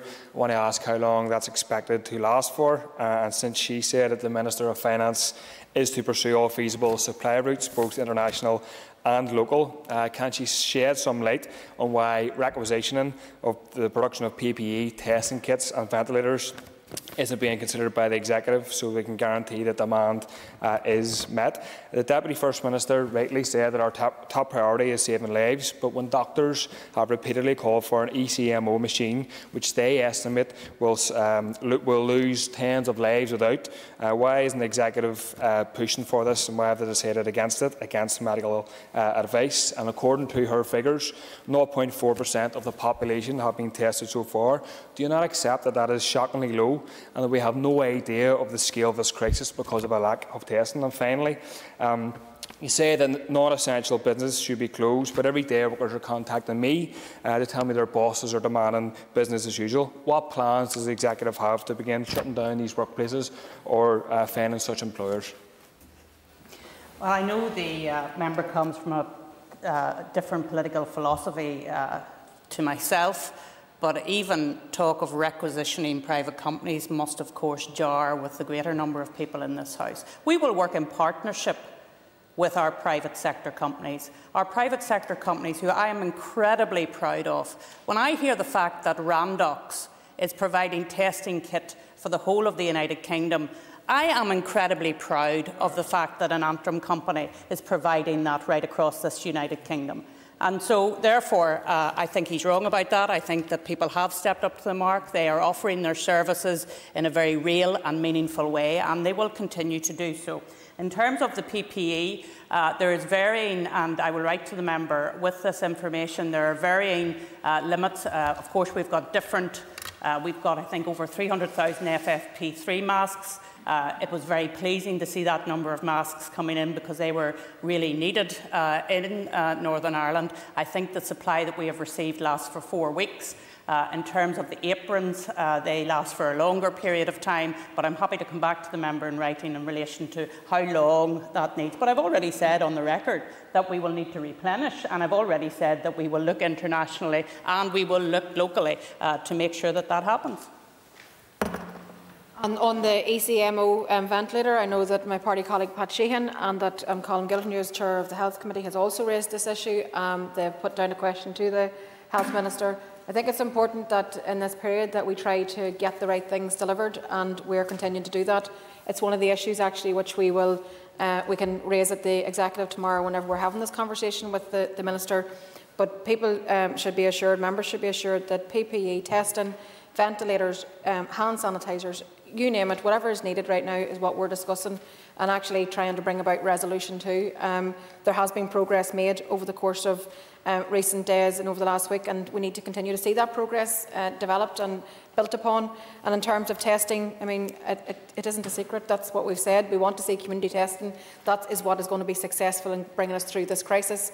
Um, and I welcome the fact that there has been progress. There is still a, a way to go uh, in all of that. But um, my job, our job as political leaders in this crisis is actually to make sure that uh, we, we deliver on the things that we know that we need. And this is one of those things. Uh, thank you, Principal Deputy Speaker. Um, I, I, wish to come back to the support for businesses. Um, the Small Business Rate Relief um, Scheme was a crude vehicle in which to support small businesses, and I think that the Executive are now beginning to realise that, and I am pleased that they are pursuing options to try and support businesses such as small manufacturing. Um, another area which I, am sure they are aware of is in relation to those businesses, if their rental space was re-rated, that they would um, indeed be entitled to the, the, the, scheme under the small business rate relief. And, and I just wondered, is there an opportunity through the Land and Property Services where businesses who exist in properties where perhaps rents are being paid for more than one business within that premises, is there an opportunity for those businesses to get their own portion of that premises re-rated so that they would be eligible for this scheme. Um, I suppose the other um, uh, support I, I, would like to refer to as well is those supports that are being administered by the UK government, and I appreciate the, the, the executive will be limited in what they can do with that. But the point that I would make is that the likelihood of those coming through, the monies coming in before three months, will unfortunately mean that businesses will have to fold because they don't have that cash flow. And I really must impress on both the First Minister and Deputy First Minister if they have any influence on the local banks and how they could try and support businesses because right now they're not supporting them. Um, Dan Danske recently put out a statement where they said that they were removing interest rates from overdrafts for personal customers. So there is form there. Um, I, I, think that's what we need to be doing for, for any sort of credit that these businesses currently have, not just the, the, the credit that they seek, because a lot of businesses are telling me that they don't want to take on more financial burden because they don't know if they're going to come out the end of this, rather in three months when we will review this again. Thank you. Uh, those are issues that I have heard before. Um, and in terms of her very particular issue about being in a building um, and not paying rates but asking to be yeah, that is one that I have raised specifically and I wonder if she could write to the economy minister about that issue uh, to raise it again because uh, and indeed the finance minister because of course he's in charge of, of rating and um, everything that goes with that um, I mean the whole idea was that it was to go to the business not the landlord so I think it is critical that it goes to the business um, and not the landlord. And really, the landlord should be passing the benefit on uh, to the business. But we all know that, that may not happen. So I think it would be useful if she, she did write to the Economy Minister about that. I have to say, disappointed to hear her experience of banking. Um, that's not what they're telling uh, to uh, ministers. They are saying that they want to be flexible and they want to work with customers and what have you. But look, sometimes the experience does not exactly fit. Um, so again, if she has a specific in instance, it would be helpful if she wrote to the Economy Minister on that as well. Okay, uh, that concludes questions on the statement. Uh, we shall now have a brief suspension for five minutes to allow for a change of ministers and a change of members. This meeting will resume in five minutes. Thank you. Assembly plenary, programme signed. Speaker received notification on 6th of April that the Minister wished to make a this statement is the Northern to the ad hoc Assembly committee plenary at today's meeting. programme. A copy of the statement that the Minister intends uh, to make is included at your table packet, page 3. I'd like to welcome the Minister for Agriculture, Environment and Rural Affairs to this meeting of the committee. I would also like to welcome uh, Mr Norman Fulton, an official from the Department of Agriculture, Environment and Rural Affairs, who is accompanying the Minister today. I invite them both to make their statements from the lecterns, and the Minister should be heard, as is a ministerial statement, without interruption. Following the statement, there will then be an opportunity for members to ask questions. I call the Minister. Thank you, Mr Principal Dep Deputy Speaker, for the opportunity to provide members with an update on the arrangements that are being made within the Department of Agriculture, Environment and Rural Affairs. As we support the people of Northern Ireland in these challenging and worrying times, the coronavirus pandemic is one of the most significant challenges many of us have experienced in our lifetime not only in terms of the impact on the health of our people, but also because we face unprecedented economic and societal changes and challenges. If there is one message that I want to reinforce, is that we are all in this together, working on the basis of the most up-to-date advice from the UK Government, our medical professionals and our scientists. And if we have one lesson to learn from this, it is that working together is not an option, it's a requirement. So when we face a crisis of this scale, it reminds us of our humanity, our frailty.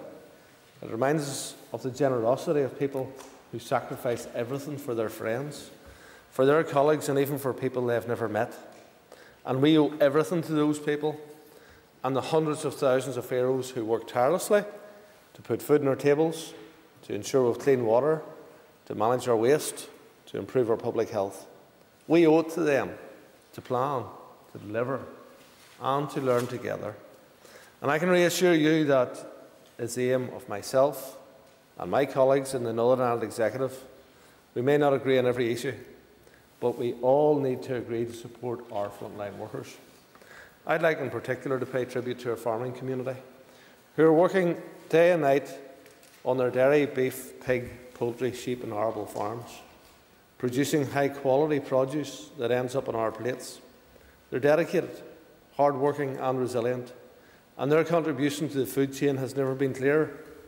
They too face the same worries and fears as the rest of us, and have adjusted how they work to keep food moving during these extremely challenging times.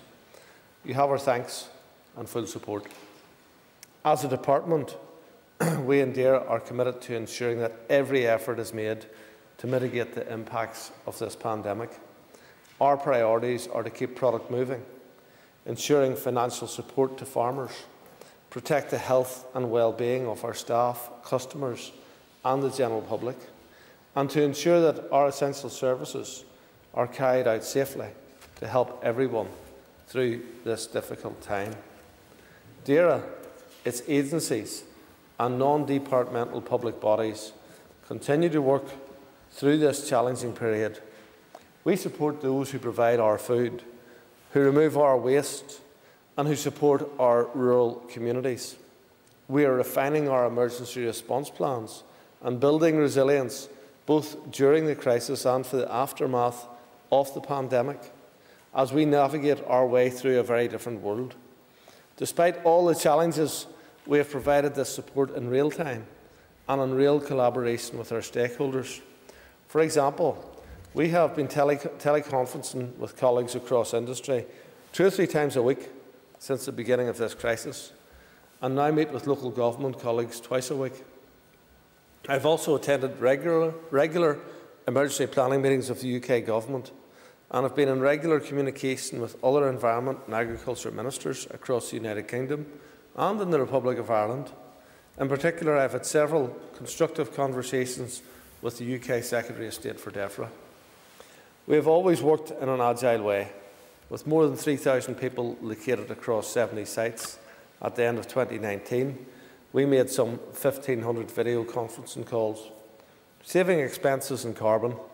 But we've taken that to a new level in this pandemic as we continue to find new and pragmatic ways of working and change how we interact with the public. Our priority is the safety of the people who work for the department, who work alongside the department, and who rely on the work of the department. In so doing, we have had an opportunity to try out new technologies. We've learned a lot about how people can organise themselves rapidly using these technologies. And for the future, we will use these agile approaches to provide new and better services. At this point, I want to take this opportunity to thank all the DAERA staff for their efforts in this challenging time, commend them on their hard work and determination, and I'm proud of the part that my department has played to date in working with others. For example, the technical capacity and expertise of the Agri-Food and Bioscience Institute is being used to scale up Northern Ireland's COVID-19 testing programme. AFBI, which is one of my department's NDPBs, together with the Queen's and Ulster universities, will undertake testing lab laboratories, and the programme of testing, which is scheduled to commence soon for an initial period of 12 weeks, has the capacity for 1,000 tests per day to be conducted. Until a few weeks ago, social distancing was a term not widely used, but it is now. In our sphere of influence, the challenges range from, range from food processing to fishing vessels, from poultry to pork, from water quality to waste collection. So I'm pleased that officials have been working closely with industry, the Food Standards Agency, the Health and Safety Executive, and other public sector agencies to find ways to make it work for everyone employees, customers, and employers. And we can and will continue to protect our people by ensuring that they follow public health guidance. Maintaining our food supply is central to everyone's well-being. We feed up to 10 million people through our local agri-food industry. So protecting this food supply is, chain is vital. And DAERA is firmly focused on doing everything it can to protect this integrity and allow produce to move off farm and through it. We have prioritised essential services and staff to ensure the continued flow, of food and feed. Veterinary teams are continuing to deliver essential food safety, official controls, providing veterinary certif certification for the export of both meat and dairy products. And I'm particularly glad or grateful to the dairy industry, working closely with our officials as we streamline our service provision. We have communicated to local companies and to Dairy UK to ensure all stakeholders are aware of revised processes. And while essential controls will continue, I have taken steps to pause most inspections, both on farm and off farm. I've also decided that in general bovine tuberculosis testing should not take place. And this is to protect the health of farm families and the testing veterinarians. Exceptionally, visits to carry out TB tests and some inspections may take place if they can be done safely in accordance with the social distance and advice of the Public Health Agency. We continue to prioritise the prevention and detection of epizootic diseases through surveillance and testing at ports, airports, on farm and in meat plants. Routine bovine brucellosis sampling has been paused on farms and abattoirs. However, high risk, risk sampling will continue. We owe an immense debt of gratitude to everyone involved in our food supply chain. Food is being produced day in, day out, but cancelled orders due to the loss of food service and the hospitality sectors, significantly higher levels of consumer demand, and fears about staff shortages have put unprecedented pressure on primary producers and processors. So we need to ensure that people are paid fairly for producing high quality local produce. That means supermarkets doing their bit, continuing to buy and sell excellent local produce produced by our farmers and primary producers. Commodity prices are extremely fragile, and we are already witnessing a softening in the market. As this continues, as I am sure it will, the UK Government will need to step up and provide the necessary support. I am therefore monitoring the situation closely to see what needs to be done and how it can be done, and importantly, working with UK ministerial colleagues. I've been meeting with the main local banks to ensure that they're doing all they can to assist farmers who are experiencing severe cash flow problems. It is vital that the banks step up to the plate at this time. I've also chaired meetings of the main dairy processors to help establish how our critical dairy sector can navigate through this crisis.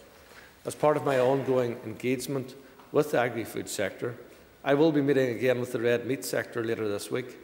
As I have highlighted, markets are extremely fragile. We are already experiencing a significant fall in markets. And given this uncertainty, I have been proactive in the last 10 days.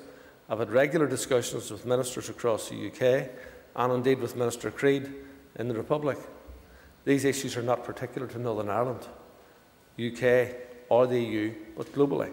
Hence the need to realise the significance of the support which will be required.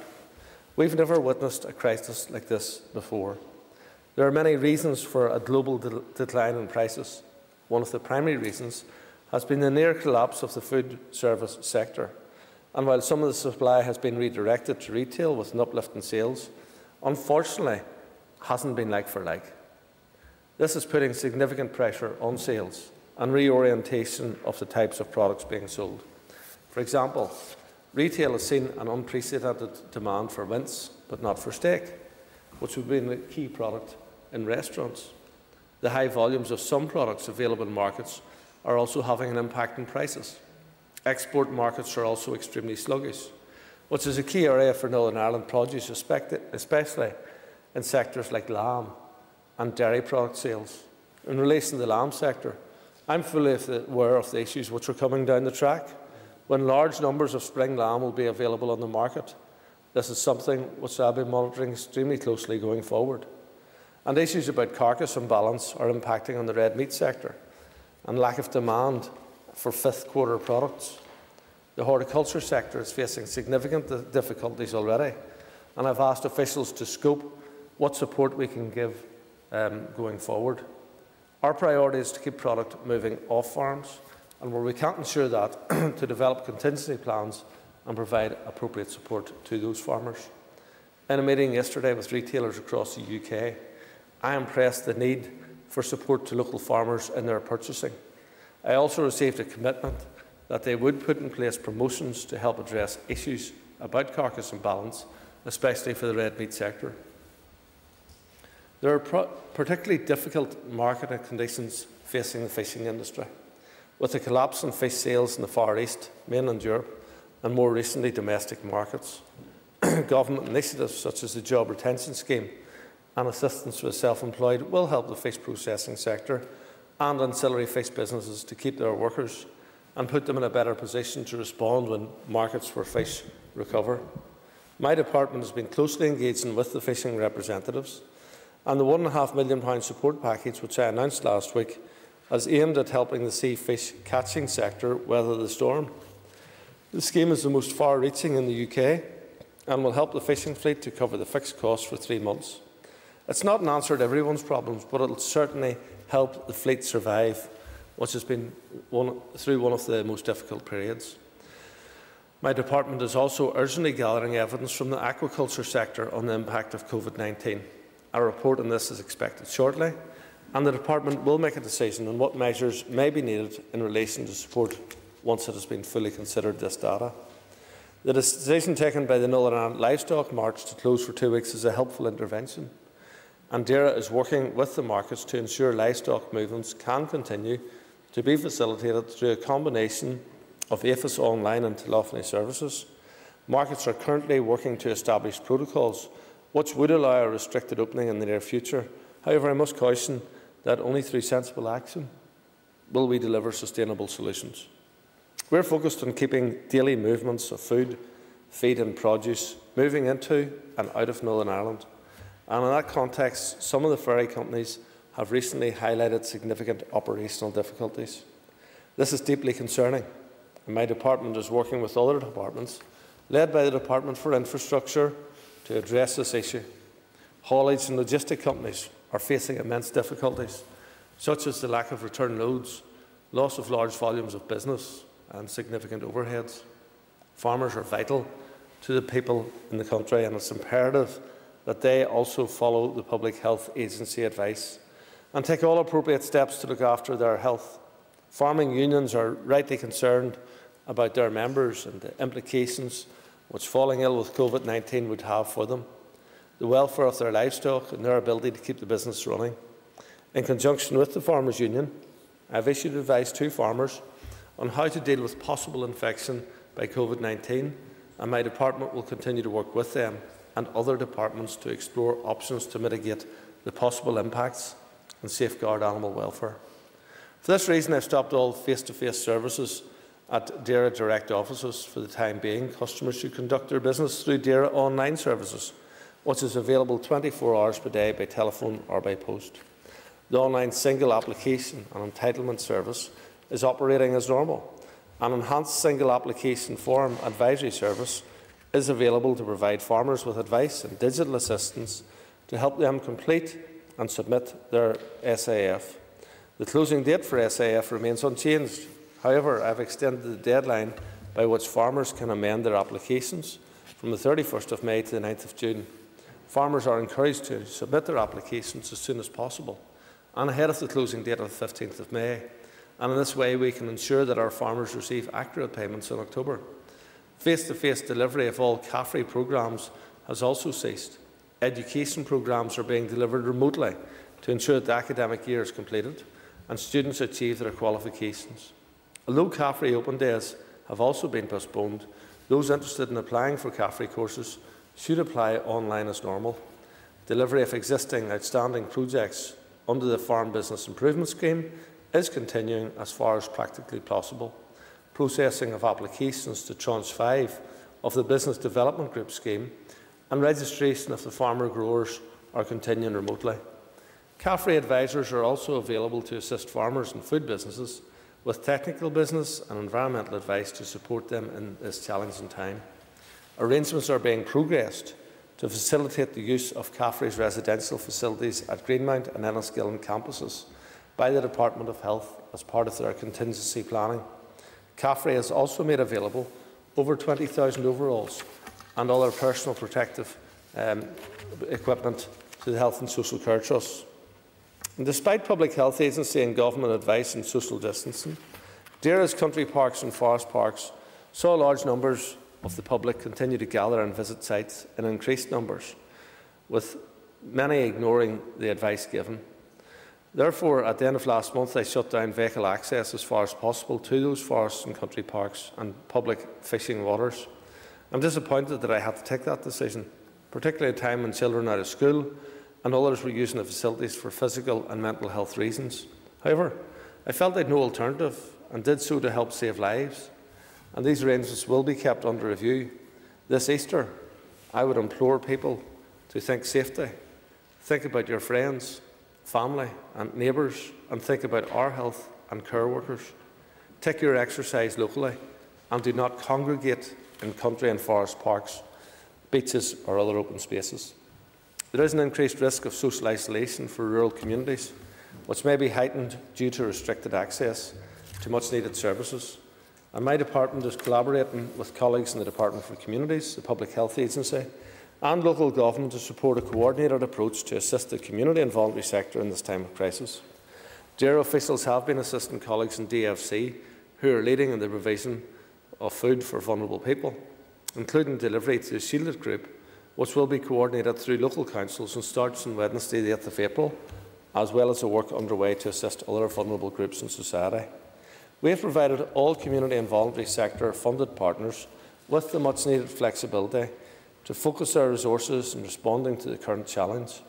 The rural support networks support a network of over 1,500 rural community and voluntary sector organisations and are already involved in a number of initiatives such as engagement with food banks, drawing up lists of these groups who can offer help and seeking to identify people who will need help.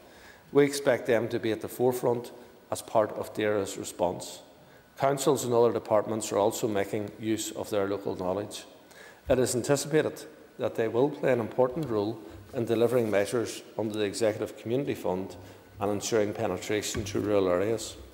We are working with DFI and DFC to ensure that the DAERA's Assisted Tra Rural Travel Scheme can be utilised to assist the delivery of much needed food and services to isolated rural dwellers and with our health partners to ensure vulnerable rural households are contacted on a regular basis and their needs met. The Rural Support Charity stands ready to help those rural individuals in stress and will support them with whatever is needed in these challenging times. We have also provided emergency guidance and the ongoing support to administrative partners delivering LEADER and TRPSI programmes. This includes easements to support payment to project applicants, and the reallocation of DAERA resource to process almost £2 million in payments to microbusiness and community organisations in the last three weeks. This money has never been more important in supporting the survival of organisations, staff and their families, and the communities they support.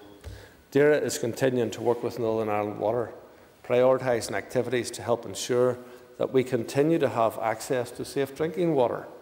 Essential staff continue to analyse water samples from key drinking water supplies. Responding to reports of water pollution remains a priority in order to help protect raw water supplies. The Drinking Water Inspectorate, DWI, has been working closely with NI Water, local councils and owners and users of private water supplies to ensure all necessary measures are in place to protect the public health. A task and finish group with membership from across the Northern Ireland Environment Agency has been identified, been established to identify issues which might arise due to an increase in burials. The group will provide, uh, produce advice and guidance on how best to mitigate against these. The links into the DOJ pandemic uh, working group. It is important to recognise that waste workers are one of our essential services, covering all those involved in managing waste, whether collection, transportation, treatment or disposal. DAERA's priority is to maintain the fullest range of council waste services as possible, um, including recycling, which supplies the waste industry and contrib contributes to the packaging sector. Recycling material from much of the commercial sector is no longer available.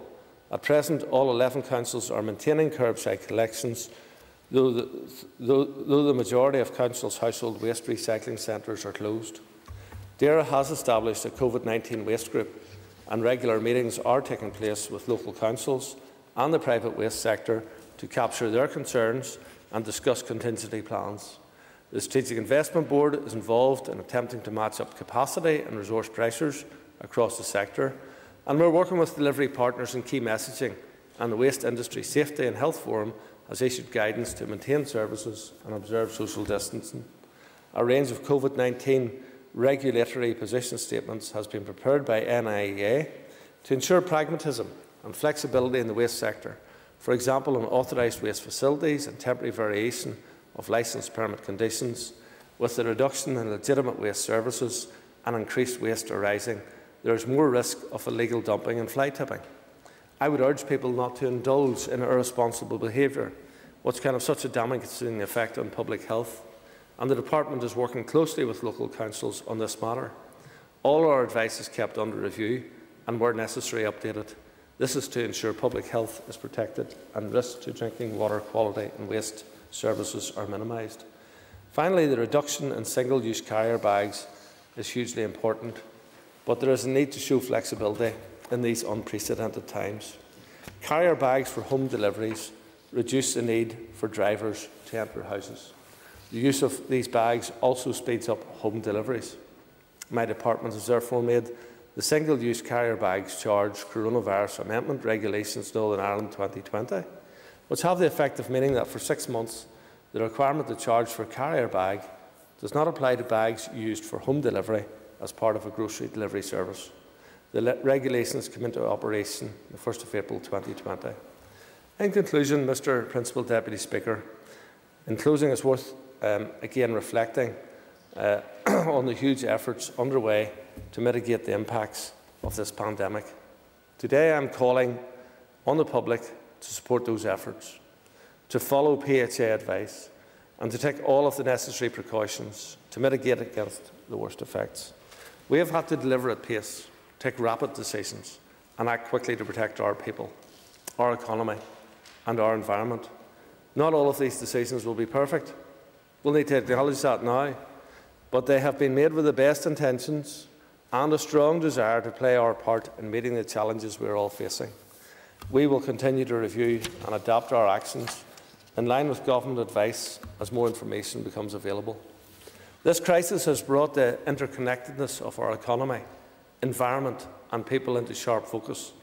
DAERA will continue to play its full part in the Northern Ireland response effort to COVID-19, supporting our people and business and leading them through these difficult times.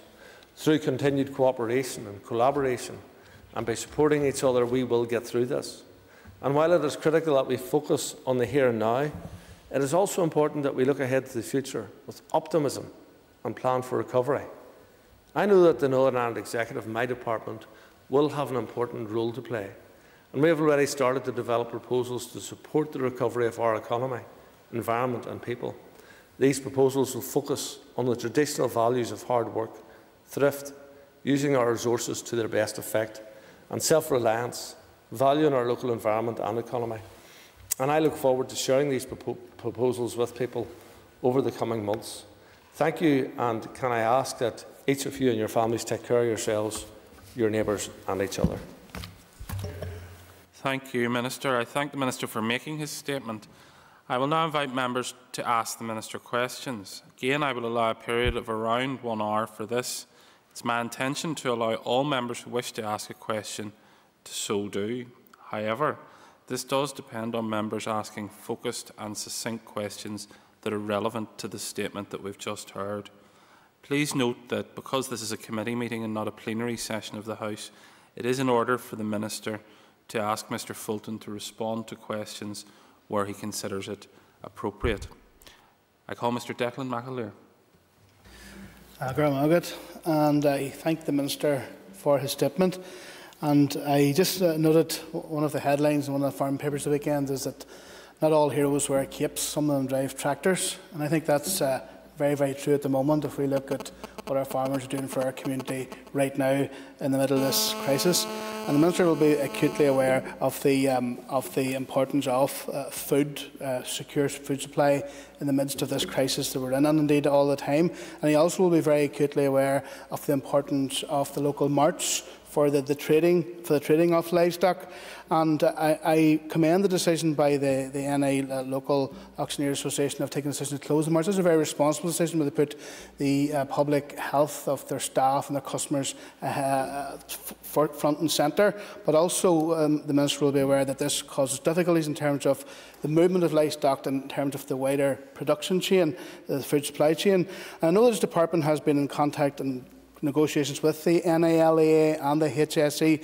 And I wonder, could he give us his assessment about how trading could continue in, uh, in a non-contact way. And I note, for example, across the water in Britain, the first online uh, mart, I think, is taking place today. So I'm just looking for his assessment as to how uh, trading could continue in a non-contact and a very safe, socially distanced manner in the current climate. Thank you very much.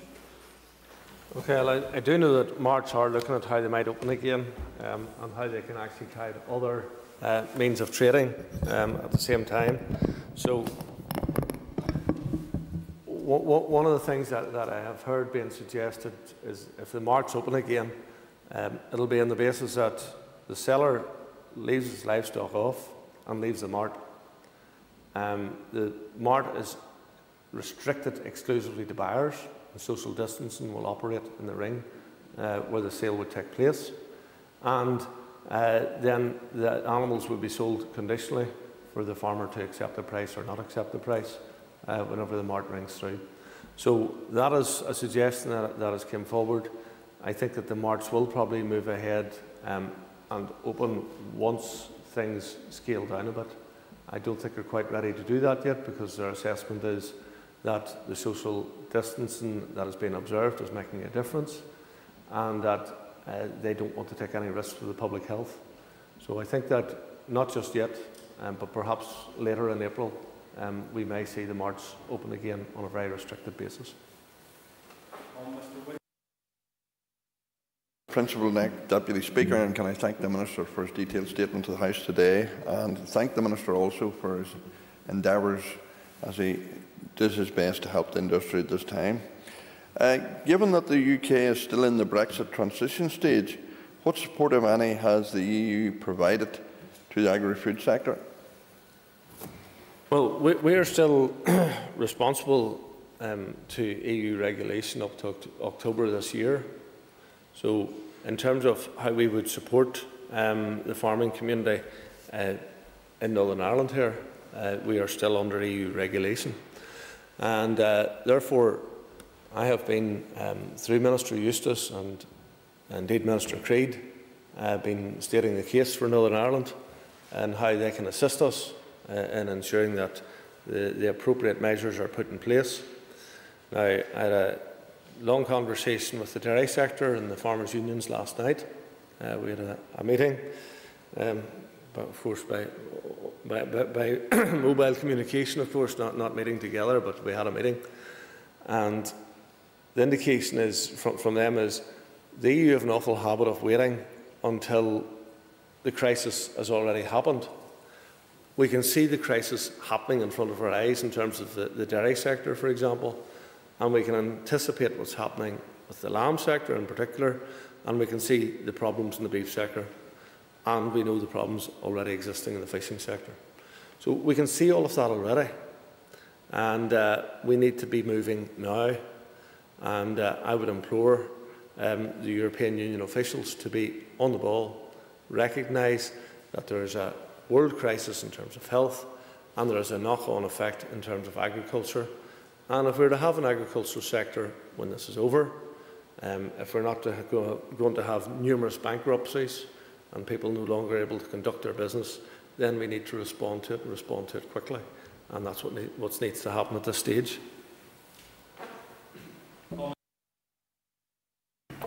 Thank you, Mr Principal Deputy Speaker. Um, I want to thank the Minister for his statement, and at the end of his statement, he wished the House here um, protection and safety for all their families. I also, in return, have learnt that one of his own family members has been struck down. I wish her a speedy recovery, and I'm sure most of the House would agree with that and pass on uh, our best wishes to your family members, well, Minister. Um, can I also thank him for the advice he has given uh, to households to manage waste at this time? Uh, could I ask if he will be assisting the councils uh, to deal with increased household waste and will amend licensing laws when required or where required and look at any financial assistance where or when needed? Thank you the member for his question. Thank him for his personal remarks as well. That's very much appreciated. Um, in terms of how we respond in waste, you, you really see how critical people are whenever we have a crisis like this here. We take our waste collectors for granted. You know, we were at our house this morning about half six in the morning, and away it goes. And we don't see any more for waste, and that's brilliant. But, you know, at this moment in time, if those people closed off, that creates another public health problem. So you ask about the regulations. We will provide the maximum flexibility for all of our sectors. And as we've worked through, that's what we've been doing. Nobody can accuse us of actually not being flexible at this stage. And if there are areas where we still have um, things to do, I'm very happy to, to deal with those as they're addressed to us. Financially, I am aware of additional strains in councils. So we will work with them. Um, we will identify where those strains lie, how those can be best accommodated. And we will look at how, right across the board, um, we can provide the appropriate financial assistance uh, to people that are related to our department. And of course, we have to do that through the Department of Finance. But nonetheless, we need to recognise that there are a wide scale of people out there who need our support and assistance to get to the other side of COVID 19. We're all getting to the other side of this, by the way. Um, it's going to be a real challenge. Sadly, there will be those who lose their lives, and that is horrendous for all of the families involved. But the vast majority of us will get to the other side of this, and it'll be a horrible memory that we have, but we will be able to move forward um, once that's done.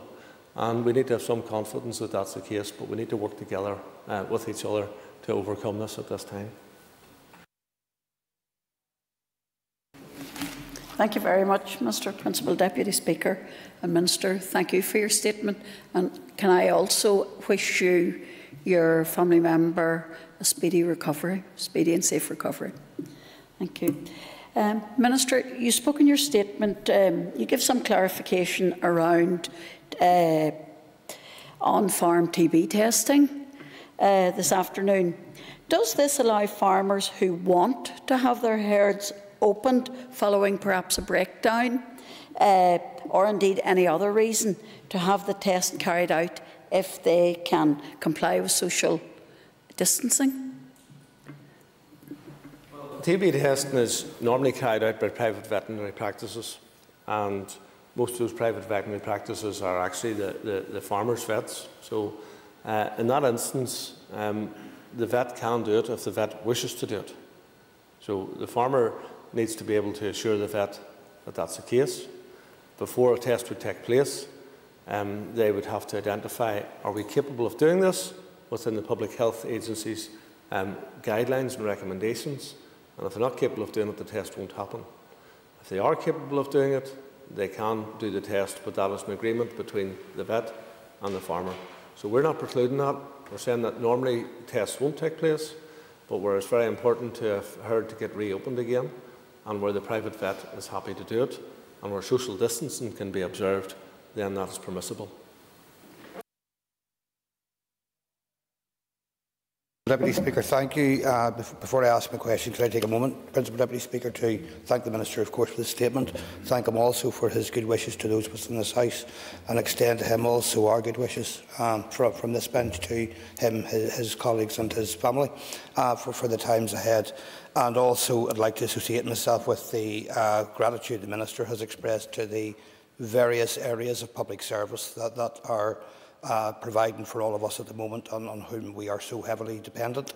Further, Principal Deputy Speaker, to the information contained on page 11 of the report um, in relation to uh, the delivery of food for the vulnerable. The, the, Minister may already be aware that I've corresponded with DAERA, Department of Health and uh, Department for Communities regarding priority access um, for online food deliveries. This, of course, relates primarily to supermarkets um, and is of benefit to those who can register if they are self-isolating as a result of direct advice from government, usually for a period of 12 weeks. Some local supermarkets, Principal Deputy Speaker, have indicated a willingness to take part in this scheme, which appears to require registration. It seems it's uh, led in GB by DEFRA, and my question basically boils down to, is there a chance that DAERA, uh, in conjunction with other departments if necessary, can implement this scheme in Northern Ireland? Yes, I'm aware of the scheme that the member refers to, and it seems to be operating successfully in um, Great Britain.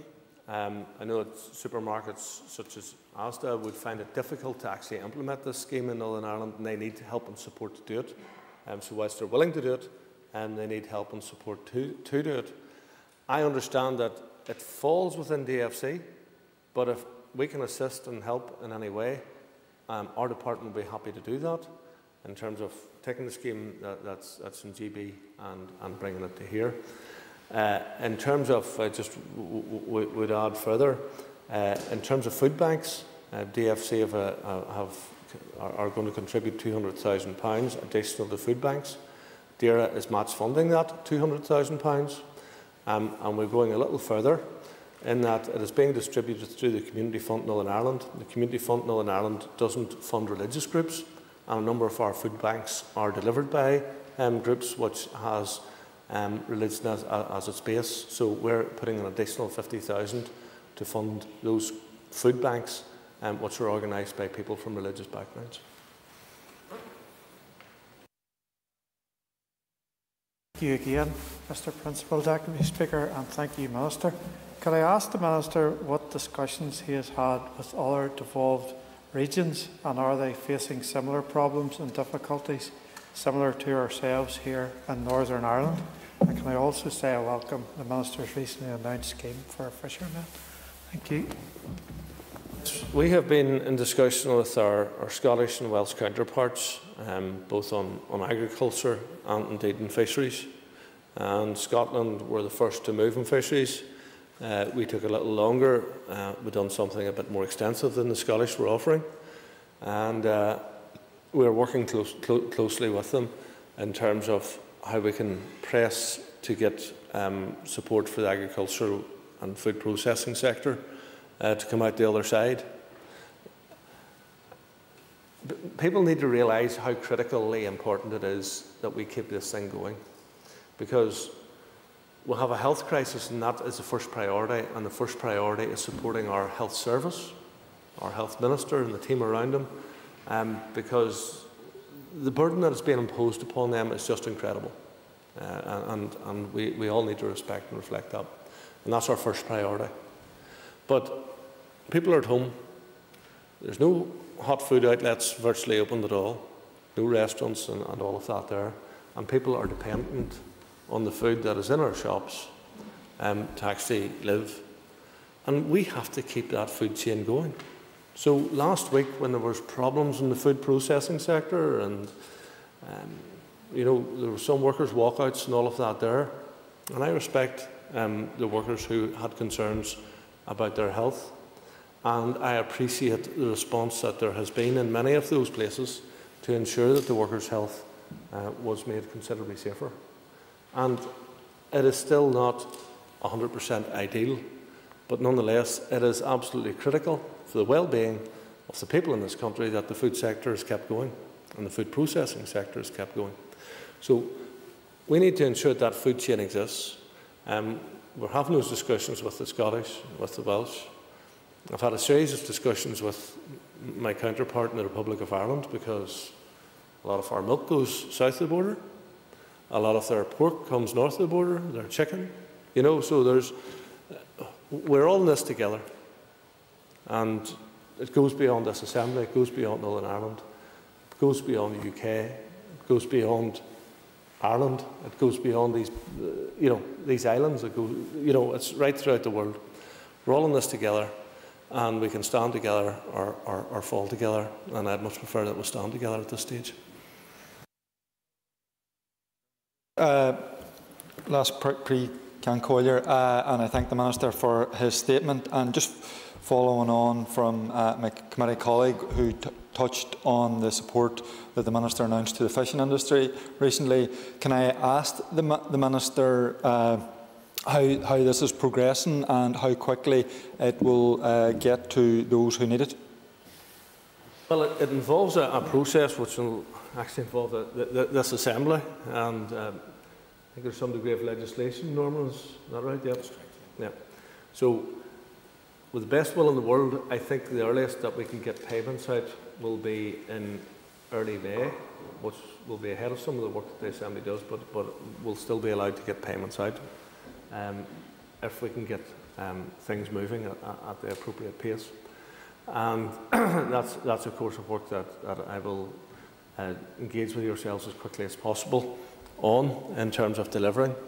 Uh, I should add that the aquaculture sector uh, and the freshwater fishermen um, are not included in that, but we're looking at that. So, for example, the Lough Neagh eel fishermen, uh, I know that eel fishery is closed down, that in Holland they, they aren't where they were selling most of the product. That has closed down.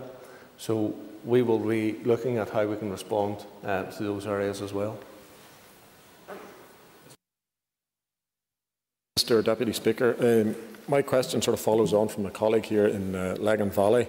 Minister, in your statement you referred to your department's uh, communication with local councils and the private uh, waste companies and obviously the closure of waste facilities in local council has caused an issue with, with fly tipping. So the two points or two questions is how can you can control the overuse of uh, landfill at this time generally? And what message can you send out to those that think it's okay to fill their boots or their vans with rubbish, travel into the countryside, generally the countryside, open the door and throw it out, and think that's acceptable. At a time like this, we see the, the good in people and we see the, ultimately the bad. So ultimately, what can we do about overuse of landfill and what can we do about those people think it's okay to leave their washing machine on the side of my road? Well, it's never okay to leave your waste at the side of, side of a road. Um, we've always had good mechanisms to, to dispose of that kind of waste. Um, unfortunately, that's not available at this moment in time. But even when it was available, there were still some people um, tended to use uh, the, the fly tipping way. Um, with, with the reduction, we, we see the increased risk of fly tipping. So we're working closely with the councils on the matter. And the NI Direct fly tipping page has been updated um, accordingly for the reporting of, of, waste crime, and I'd encourage people to report it. Um, I would be prepared to work with councils in increasing um, the, the, the, fines for fly tipping, if only to get a message out to people that if you're caught, you could be hit quite heavily. Um, so that is something that I'm prepared to work with uh, the councils on. DAERA and the Northern Ireland Environment Agency COVID-19 Waste Management Contingency Group has been established uh, to coordinate and maintain the fullest range of waste management services possible. So there's a weekly meeting which has been established with local councils, the Government Waste Working Group and the Strategic Waste Partnership Group, and that's also the waste industry. So there has been good uptake by people in the waste industry uh, in terms of dealing with the problems that, that exist, uh, but it's something that we really need to keep our eye on. It's critically important that we maintain public health, and one of the means of maintaining public health is by the appropriate um, disposal of waste. And we don't want to lose sight of, of recycling and uh, not sending material to landfill where it's unnecessary to do it uh, in all of this, and that's a course of work we'll continue to, to engage in. Carmen Agat, Prior Last and thank you to the Minister for those answers. Um, the Minister will know, and I suppose I should declare an interest of coming from a small a farming background myself, and my own family, but um, the Minister will know that at the present time farmers are under financial difficulties given increased cost of meal and fertiliser and given that the marts are closed. So in light of the, the very welcome scheme that you discussed there a moment ago with uh, my colleague around fishing, I would like to ask the Minister, are there any plans to put in place crisis funding for farming? Well, we have written to the, Department of Finance at this stage and outlined what our needs would be. Our needs, we identified at over £100 million in terms of dealing with the areas in, in this department uh, which need assistance. And that is almost certainly too significant for the Northern Ireland budget to deal with and the Northern Ireland government to deal with. Therefore, we are looking to UK government and indeed to uh, uh, Brussels at this point uh, to see what can be delivered uh, because we believe that this is not a Northern Ireland problem, this is a, a, a global problem and therefore we need to work within the parameters uh, that currently exist and uh, within those parameters we need to deliver. Another area that I have been looking at is banking because for some people this, is, this isn't a business problem, it's a cash flow problem. So you mentioned about not being able to sell livestock. That's, livestock is still there, it's still an asset, and that asset will be realised a number of weeks down the line as opposed to now. And consequently, those people will, will have maybe problems um, meeting payments at the end of the month or whatever as a result of that. Uh, so met the, we met the Bank of Ireland, Danske Bank, and, and Ulster Bank, excuse me, last week, and uh, a number of the banks are, are showing um, very good proactivity if they carry out what they say they're going to. So, for example, one of the banks is offering a freeze on loans, so there's no payments required over the course of the next three months on either interest or indeed um, paying down the actual loan. that'll just be pushed back to the end of the loan. So um, your loan, which may have been ready to mature in, say, October 2021, will then mature in, in January 2022. Uh, one of the other banks was offering to uh, have no interest repayments in that period, uh, which is all helpful. Um, so we need to ensure that cash flow continues to take place uh, within our banking sector and that they work and are flexible with not just farmers and food processors in general, that they're, that, that they're flexible uh, with, with the business community. Uh, because at the other side of this, we need a business community. At the other side of this, we need farmers. At the other side of this, we need food processors. Uh, because we will hit another crisis if that is not the case. I expect unemployment to rise significantly as a consequence of COVID 19. It's our task to ensure that we provide as much opportunity for people to maintain and retain their business that they can pick it up after this crisis is over. Principal Deputy Speaker, um, I'd echo what the Minister said about um, people who work in our, um, our food industry and people particularly who work in the waste sector as well, who are like lots of people, healthcare, frontline healthcare workers and lots of other people, the true value of what they do and how they serve us is becoming more and more apparent every day when we go through this crisis, how much we depend on them, their sacrifice, their hard work, the fact that they get up early in the morning to do things for us. I'd also um, echo what he said in relation to the banking sector, but I'd say that you know, we need the banking sector to really step up here. There are too many reports, and particularly given our, our, our big four banks are dominated by banks that are either controlled by the state in Dublin or the state in London, we need them to really step up for our farmers and our businesses generally. My specific question is on He's teased me in the past about being a member for South Belfast. There aren't too many big farms in South Belfast, but there are lots of people who rely on and buy food, and indeed I'm one of them. Pleased to say in the last week I got a great delivery of local seafood from Sea Source NI, who I can give a shout out to, who are based in Kilkeel. And I think fishermen from, um, from County Down drop their catch off and it's being delivered to people's houses during the current crisis. I'm interested in, can he or the department offer any guidance to consumers out there who actually want to be part of a solution in terms of buying local? Clearly, farmers and fishermen are getting their produce to supermarkets and that's great and people are going into the supermarkets buying and social, and social distancing, but buying, hopefully buying responsibly. But what ways can people support local producers? Can there be a, an online portal where people go, can go and say, I want, you know, I want to be able to buy local, I want to be able to buy great local produce? How can the department help with that? Well, I, I can't speak for my own local area in this, and the, the, local, the local authority is doing excellent work in terms of providing information. And all of those local shops who are doing home deliveries, and I'm seeing all of the wee butchers and bakeries and so forth popping up, and they're offering those home, home, home deliveries, and, and, it's tremendous. And, and I'm on a few community pages, and, and they're saying, you know what, I just ordered um, so much from, from such and such a, a, shop. And we had it around two days later, and it was a great service, and then others are, are buying into that. And I suppose in any crisis you want to see, can, can there be good things come out of it? And it really would be good if there was more support for local businesses. Because when the going gets tough, those are the people who are always there. They're always, they're always there. And I think it'd just be tremendous to see a, a revival in our local butcheries and bakeries and greengrocers and all of those kinds of shops. It's been sad to lose them over the years and see the, the, the big multiples come in and just, just take them all out. And uh, maybe we will learn to appreciate those small retailers a bit more and we'll maybe spend a pound or two more in those local shops to sustain them and keep them going as opposed to always looking for the cheapest option. And very often it isn't the cheapest option, but they're very good at marketing themselves um, from the big multinationals. Thank you, Mr. Speaker. Um, I just want to thank the Minister, and, and that was nicely teed up for me, uh, Mr. Mr. O'Toole, because uh, I want to talk about the small shops and the agri uh, products, but I want to commend you, Minister, for your performance and, uh, along with the executive team, um, there's no doubt I think you were cut out for this role uh, and this department, and you're passionate about it.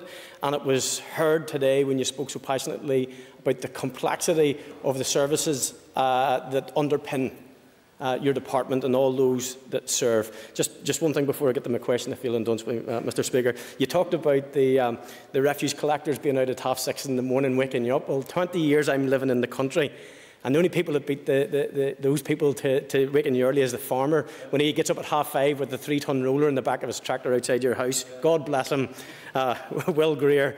Um, Minister, um, you highlight some of the issues with regard uh, around the sale of agri products. And you, in the last uh, question, you answered it brilliantly. I'm a former butcher myself, uh, passionate about butcher shops and buying local. Would you consider recommending to put in place a minimum price guarantee on agri products in supermarkets to ensure a fair, a fair return for primary producers and also for those shops um, that we want to support? Because, as you rightly pointed out, there are a number of shops who are benefiting at the moment because they're able to provide that local service quickly for people. But we also know that on the other side of this, the pressure that comes on people is buying cheap. And I remember uh, as a butcher when Brazilian beef came in and we were selling Irish beef and we couldn't compete. And you're seeing these wee skinny steaks. And this, the, the, date, Mr. Speaker, on these pieces of beef when they come in is four or five months, and you're saying, how on earth does that stuff last in a pre-packed packet? It's, there's just something not right about it. So could you uh, uh, consider putting such a recommendation in place, Minister? Well, I suppose we have lived in a generation which has witnessed globalisation, and we're now suffering perhaps because of globalisation. And the fact that there's people travelling so much around the world has led to this virus travelling so easily around the world as well. You know, if 200 years ago, if a virus had struck in China, it probably would have just stayed in China. And that's just the reality of globalisation, that people are travelling all over the world and doing things all over the world, and consequently, everything is global. And I do think that it is a time to pause and reflect. I'm not sure how legitimately we can actually have minimum food prices. And I'm not sure that that's probably somewhere where national government wants to go. Because ultimately in the United Kingdom there's 65 million people and there's you know, a few hundred thousand farmers. And politically, and for any government, it's probably not the wisest thing to drive the food costs up to the 65 million to assist the two or 300,000. But nonetheless, there is ways of, of helping and supporting the, the, the the hundreds of thousands of farmers and, and food processors and ensuring that the public do get good quality food. I should say that one thing that has come really to the fore about this is food security.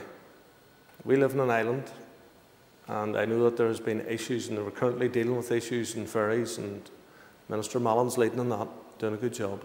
Um, but there's issues about ferries, and we need to retain the ferry service between um, not just Northern Ireland and, and, and Great Britain, because 10% of our goods come in um, from Dublin.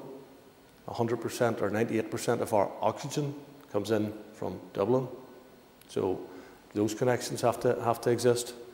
But the fragile connection that really exists is between Great Britain and, the Euro and Europe. And if there's any issues at Calais at all, there's problems caused. And if capacity at Calais goes down, Britain doesn't have enough food for itself very quickly. So the very smart people who, who work advising in Number 10 and, and, and other places, and Mr Toogood would have been one of those people, and, and and he wouldn't have given this advice, and I know that he would have known better than to give such advice. But in the last six weeks, I heard a couple of advisors saying we don't really need British farmers anymore, and we don't need to produce food in Britain anymore. And what stupid advice that was and how everybody in Britain, the most ordinary person uh, without any degrees or, or, or qualifications, can see we need food produced locally. It is better produced locally. It is fresher produced locally. We've got more traceability locally. So we need to support those local businesses. And perhaps it's something that we can engage with in terms of our business sector and local government after this and how do we build up our local shops again. How do we fill our high streets with local shops again? And how do we actually take back control of our lives, maybe from the global superpowers, multinationals, and all of that there? Mr. Carroll think I've had a real conversion, so I will, but, but I do genuinely have a passion I do genuinely have a passion for local business. I, I, I, don't, I, I don't like all of, the, all of these, these big guys coming in and, and dictating to us what we should be doing and how we should be living our lives. I accept the reality maybe a little more than Mr Carroll on occasions, but I do see an opportunity for us to, to, to revive that side of things again beyond this. Mr Speaker, and uh, can I thank the Minister for what was a very comprehensive statement and I think uh, recognises the, the, the, breadth of the department and also uh, the way in which the Minister is across that detail. He, he did serve uh, in multiple departments uh, considerable experience, uh, and I know that that uh, is being of uh, great value to the wider executive as well, uh, and so we encourage him in, in, the work that he's doing on that front. Uh, he's highlighted a number of, of innovative ways in which uh, he's adapting the department around the use of the laboratories for increasing testing, and that's something that the, the wider public really need to see much more testing, and the utilisation of AFBI to do that, I think, will be very important uh, going forward. And I would like him just to elaborate on uh, any more of that uh, innovation uh, that can take place. Uh, he, he said in his statement that we're all in this together. Uh, and we've talked at length about supporting local and those local businesses that often contribute greatly to their local community in a way that not always the big multinational global corporation uh, does, which is of, of, more interest in paying out a dividend to its shareholders often than it is in terms of its uh, community reach in the locality in which it operates.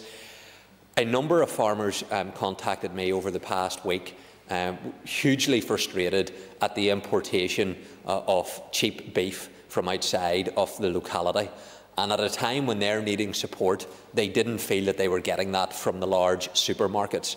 What steps has he taken uh, to deal with the supermarkets in respect of that supply chain, to encourage them to support local, and also to deal with uh, some of the evidence that's coming through that those large supermarkets are increasing prices on some of those core basic materials that go into people's baskets because I've heard that from constituents that items two weeks ago that are fundamental to the home are now becoming more expensive at a time whenever people's money in their pocket isn't going as far as it used to. Well, because of the circumstances that we exist, um, some of the competition rules for supermarkets have been slackened, um, and necessarily so uh, but I don't consider that to be something which should be seen as an opportunity by people to make more money. Um, retail trade was up 22% in the month of March. So, uh, you know, everybody could see how our, our, our, supermarket shelves were, were emptying and, and, they were benefiting greatly um, from uh, the, the, buying that, that people were engaging in. And there is anecdotal evidence that prices are slipping upwards.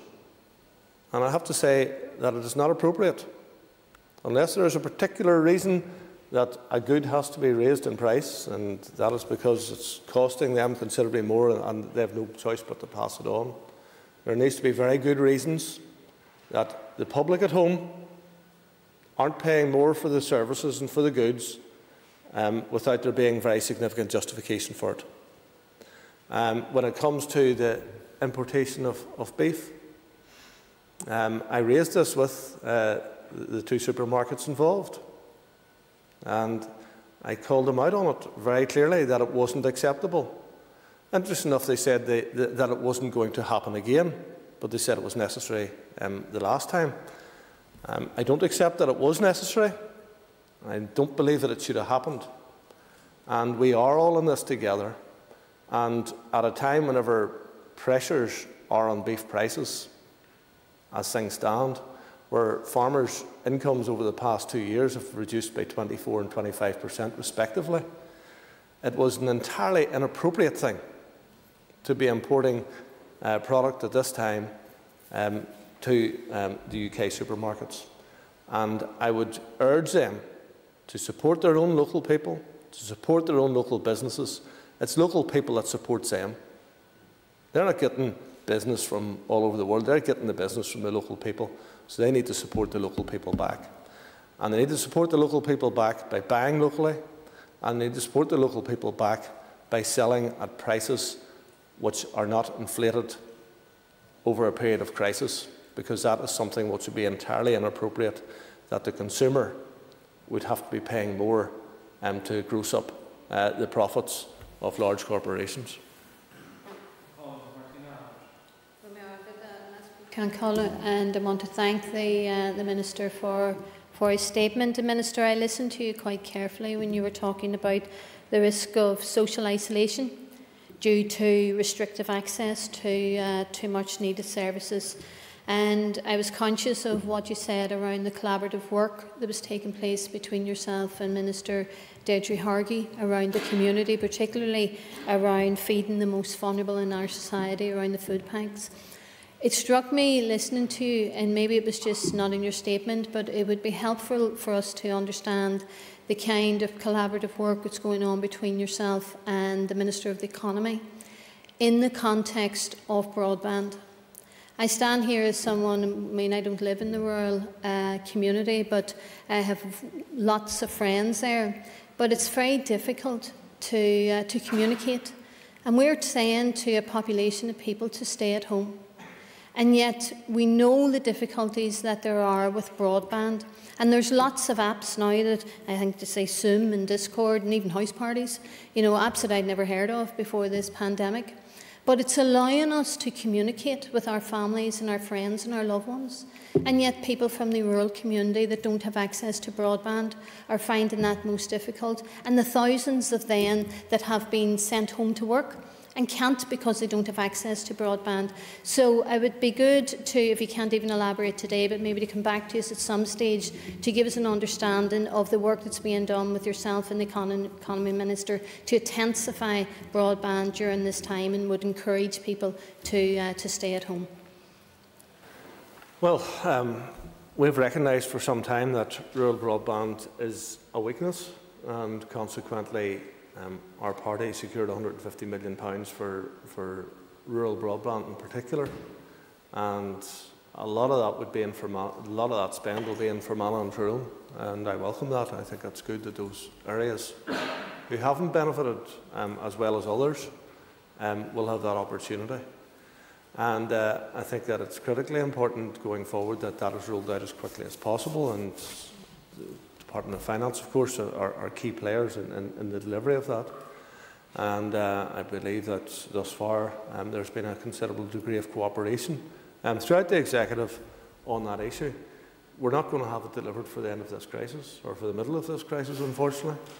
Uh, one of the added um, complications is that even the, the, the providers are not allowed to go into people's homes now. So they can bring the broadband to your front door and, and, and fix you up with a plug, which, which, which you'll, you'll, you'll plug in. But that's just a further complication. But we're totally committed um, to ensuring um, that the broadband that is enjoyed by most um, can be enjoyed by that greater number um, throughout the rural community. It's going to be very difficult to achieve 100%, but I believe that we can get up to 98, 99% um, which will be a great asset. And you do rightly point out that people really need it now, just for ordering food from the shops and for simple things in life. So one of the things that, that we will be doing, and again it's with the Department for Infrastructure, and it's great to see how departments are working with each other. So we've been working closely with the Department for Communities, Department of Infrastructure, Department of Economy, and so forth. Um, but one of the things is that the rural transportation system, instead of taking people who are isolated to the services, it's how we can actually deliver on the rural transportation to take the services to the people and use um, those rural transportation services to do that. And I think that's crucially important at this time, that those buses um, aren't sitting there doing nothing, that they're actually used to deliver services to the rural community. Thank you, Mr Principal Deputy Speaker. Um, Minister, can I just wish your family member well? Um, it's a very tough time for all of us, but it hits very close to home when it does affect us individually. Um, what I would like to say is a thank you to start off with, both to you and to um, your department for keeping things going as it currently is, and also to convey thanks on behalf of the fishing industry um, for the support package that has been put in place. Um, I've been um, communicating backwards and forward with NIFPO based in Portavogie, um, and they have said very clearly that this is a very, very welcome support to the boats, but they do have a concern, and the concern you've already mentioned earlier, um, that um, it doesn't cover the needs of the crew. Uh, many of our fishing crew are self-employed share fishermen. Most of them live below the poverty line. As self-employed, they will be reliant on the government's self-employed income support stream. But the only unfortunate thing is we know it's going to take a bit of time for that to come through. So earlier when you talked about support for um, the agriculture and farmers, um, I would ask you if you could consider those, those crew as well.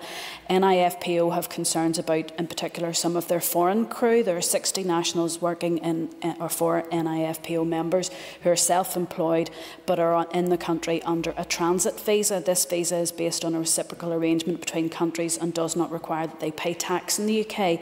These 60 men have no tax history and since the collapse of our markets they have no income and no recourse to government help. And while boats are getting some money, there was there's a, a missing of that consideration of these vulnerable crewmen um, factored into that package. Um, so there isn't just enough money to pay both the boat's bills and the crew. So I would ask if you have any sway at all, you probably with the Minister for the Economy, to seek help from HMRC and the UK Government to consider a similar scheme to the hardship scheme, for instance, being brought forward by the Minister for Communities um, for students, that we could perhaps have something out for those fishing crews in the interim until they can claim that money. And I wish you and your family a very happy Easter. Thank you. You know, the member quite rightly raises a, a very significant issue and a problem that we have. Um, our fishing industry has been supported greatly by crews from other countries. Um, that was East European, but in latter years it has become more based on Filipino and, and crews from Ghana. And they are excellent fishermen, brilliant at repairing the nets, have bring they're skilled people, and this is an argument that we've been having with um, the UK department for a, a, number of years. These people are not labourers; they're skilled fishermen and need to be recognised as skilled fishermen coming in. Uh, at this moment in time, um, certainly one section of, of, of, those people do not qualify for, for the 80%, uh, and that's causing real problems and hardships. So we're aware of it. We have raised it and we're trying to seek solutions to it, um, and I'm not sure that that's going to be simple. I am aware that quite a lot of the boats are out fishing again, and there's an intention um, to be go out later this week because I think the weather is not suitable for them at this time, but they're intending to go out later this week, uh, which may help them to, to, some extent. But the problem is that the boats themselves um, what, what, what they're getting for, for, their, for their product is significantly down. The one good thing is that the fuel costs are also significantly down, but it doesn't compensate for the, for the, the, the amount that the actual fish is down. But with what we have offered, um, it may help to see them through over the course of the next number of months. But I, I don't see what's offered as being some magic bullet for the fishing industry. There's other issues, there's other problems, there's other complications that we need to try and assist them with, and recognise that. Call Mr Gordon Dunne. Principal Deputy Speaker, and I too thank the Minister for his statement, and I think we would put on record our appreciation, Minister, for all your efforts in supporting the agriculture and fisheries industry at this difficult time, and all your work in ensuring that there's fresh food on the shelves of our shops and our supermarkets. And I know you've done a lot of work on that. Minister, is there any indication of reduction in the farm gate price for, for milk? Um, for farmers at this difficult time. And obviously, in light of the drop in demand, for, you would we assume for milk, as processors uh, are unable to carry out the work that we're doing, and our, our businesses are shut, our schools are shut, and a, and a lot of tourist um, venues are also closed. The dairy sector is having huge problems, and there's no secret about that. so the, the spot price of milk has, has fallen dramatically, uh, and we're probably looking at about 15 pence a litre for, for the spot price of milk, which um, next, next month will probably be reflected in terms of what's paid to farmers. Now, it will not be as low as 15 pence, thankfully. Uh, but we're um, looking at different schemes in terms of how we could support the farming community in that. Um, there was 12 million litres of surplus milk in the, in the UK last week. And a lot of that is down to the food processing or the, the, the, the restaurant trade disappearing. Um, for, to give you an example, um, Lakeland Dairies would have supplied all of the milk products to all of the, the airplanes or to many of the airplane companies. So whenever you opened that way sachet of milk, it was milk that was produced here. And across the world that was going. Uh, very, very successful. That's gone. So they have to readapt and try to try to you know change their manufacturing uh, or their processing lines and, and to find other markets and so forth. So it's a desperately challenging time for the food processing sector. All those wee sachets of butter, nobody's buying wee sachets of butter um, to be used at home that you would use in a restaurant or an hotel. So they're facing real critical difficulties. And the one sector in agriculture which has large debts is the dairy sector. It has traditionally been more profitable, and as a consequence of that, the banks have been more willing to lend. So having seven-figure debts is, uh, exists within the, uh, within the dairy farm sector. It is not super common, but it is not irregular either uh, for people to have debts of over a million pounds uh, and several million pounds um, who are dairy farmers. And that is going to cause real problems if milk drops off the cliff, the milk price drops off the cliff. So it is important that we are nimble and agile in terms of our response, and that's why I'd be encouraging um, the European Union to be, to be quick in its response. That's why I'd be encouraging the UK government to be quick in its response, and that's why I have been raising over the course, particularly of the last week, but, but the previous week as, as well, but in particular in the last week, of actually driving home the importance of actually responding quickly to this crisis and not allowing to develop it into a, a micro crisis in the midst of, of the, the, the current health crisis that exists.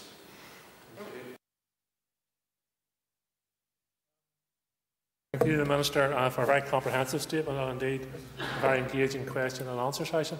Uh, Poots and Lennon just rolled off the tongue. So if, if, if we add Mr Allister to away, I thought we might have a revolution on our hands. But uh, I want to return to the, the issue of rural broadband um, and I acknowledge the investment that his department has made and also uh, the confidence and supply money, which hopefully uh, will, will be uh, honoured uh, if it hasn't been honoured to date. But the, the, in relation to single farm payments, um, the deadline is coming on the 15th of May uh, for many farmers. Uh, and considering that many will be isolated uh, uh and rural, obviously, uh, is there an opportunity to extend that deadline uh, beyond the 15th of May? And before I end, I just want to also offer my support to his relative who's, who's unwell and wish them a speedy and full recovery. Um, thus far, there's six and a half thousand people, I think, Norman told me earlier, had have, have their single farm applications in, so that's very good. That's out of many, Norman? Like 23,000. 23,000. So we're sitting now with about 25% in, and I, I would encourage people to, to continue to do that. And we have already offered some degree of flexibility at the end for people if they put something in and, the, uh, and they're not happy about it, they can come back and amend it uh, for a further three weeks up, to, uh, the, actually nearly four weeks up to the 9th of June. And we want to encourage people to, to, to do this because we're the only part of, of the UK which will be paying out in the middle of October, and that's not something that we want to lose. We want to ensure that that goes to the farming community at that time. It's very important that farmers um, actually do receive their payments in October because traditionally uh, land, the conacre land is paid for um, in October, November. So it's important to get that money into, into the farmers' accounts to allow their cash flow to work at that time of the year. So we don't really want to extend the deadline. So we'll monitor it and, and if it's coming glaringly obvious that we're nowhere near getting, getting the numbers in that we need, then we can reappraise that situation later. But at this stage, we want to encourage people to keep working and keep getting the applications in. And if they respond to us and get their applications in um, for the 15th of May, we'll respond to them and get the payments out for the 16th of October.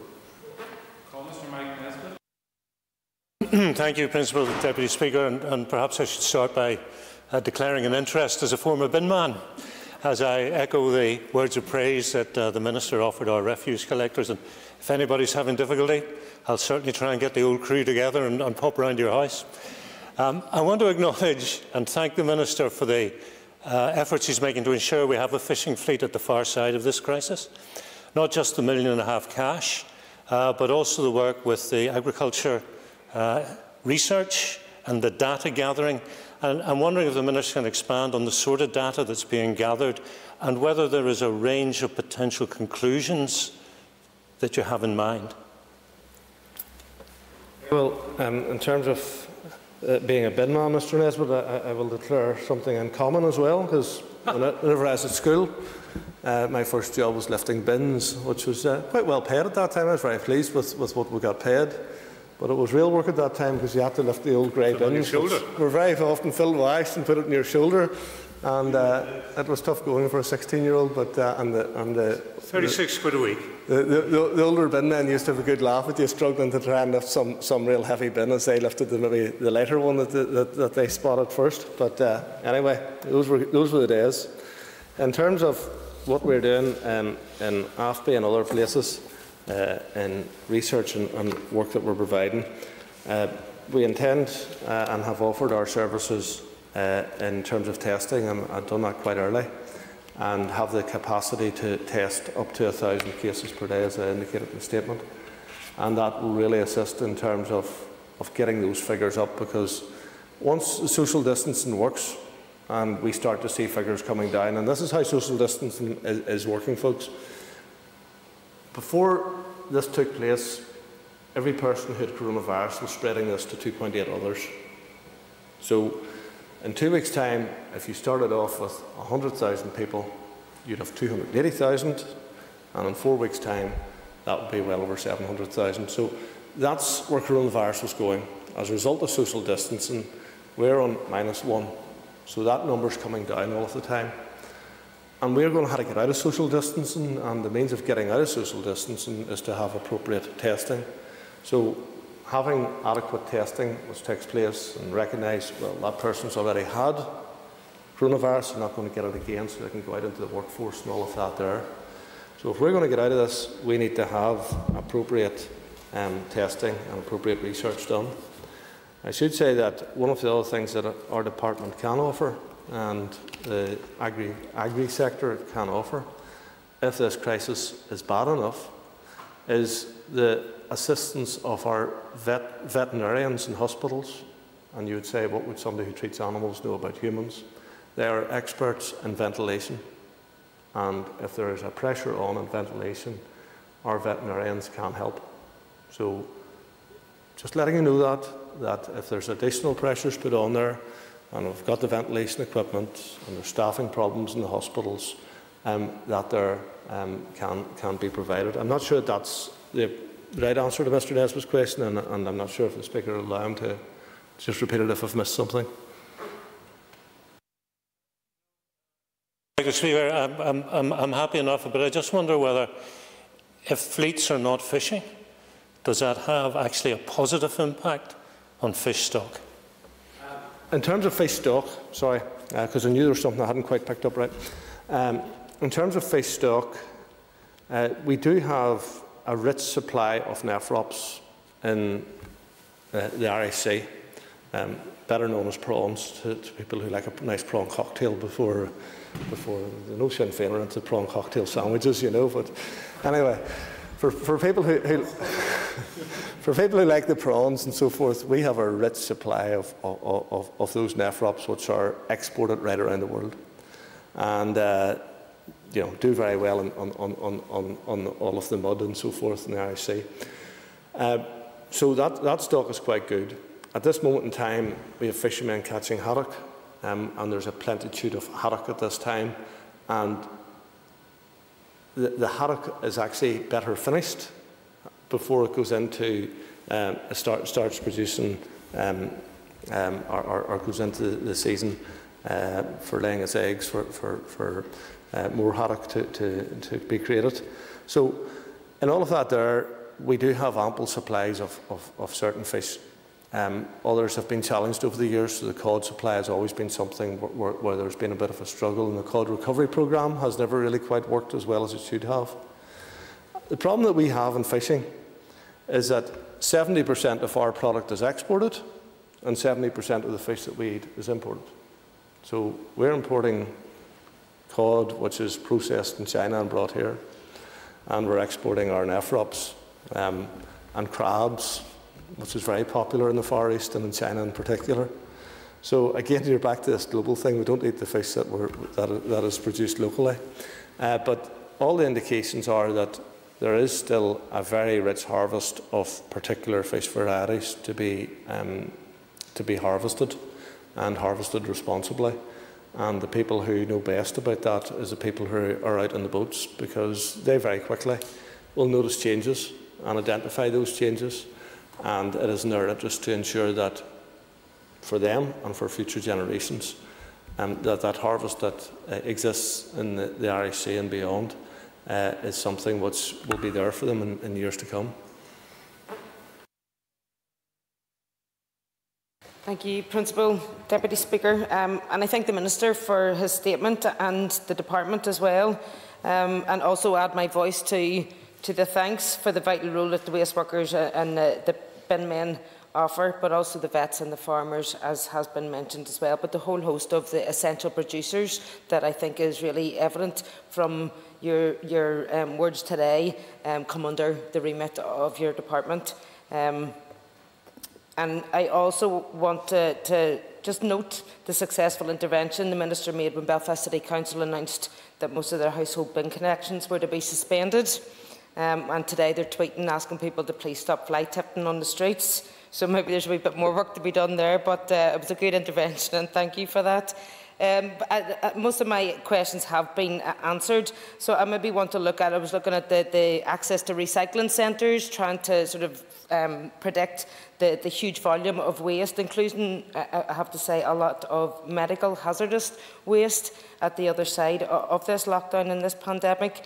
Um, but maybe look at the agricultural waste and what's being done or what's being highlighted maybe there as well. And the Minister has made mention of, of particularly the dairy industry and a lot of the, the surplus that's been left there. In your words today, you're talking about issues around carcass imbalances, about um, sales dropping and um, we're coming into lamb season, for example. Um, but what's being done to try and make sure that this produce, this surplus, isn't going to be um, maybe fly tipped into our rivers, for want of a better phrase, as we do already see happen from time to time in Northern Ireland, causing another further harm to people. Thank you. At moment in time, it is a business problem as opposed to environmental problem. So there's a, a surplus of, of, goods which have been already processed, uh, and those will be cold stored until there's an appropriate time to, to, to sell some of them.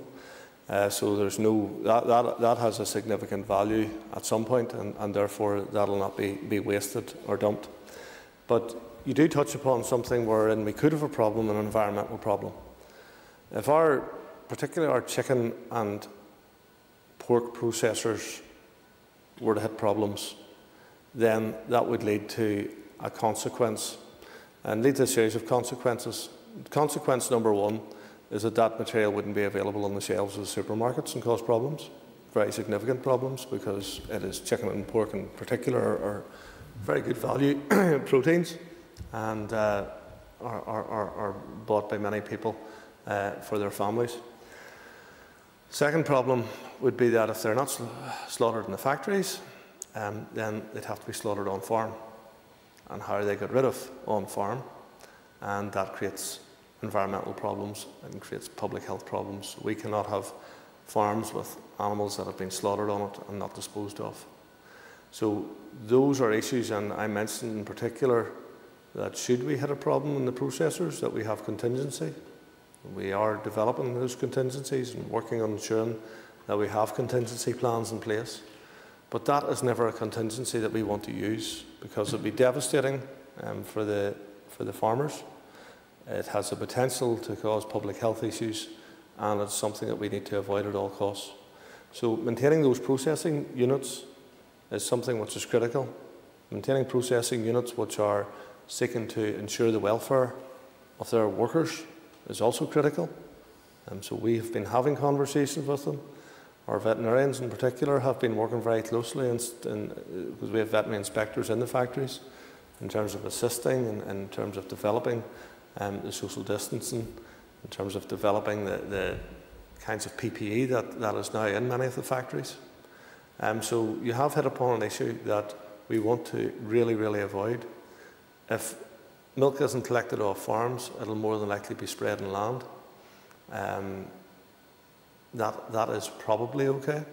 Certainly it's not okay for it to be dumped into, into drains because it's very damaging um, if it gets into the waterways.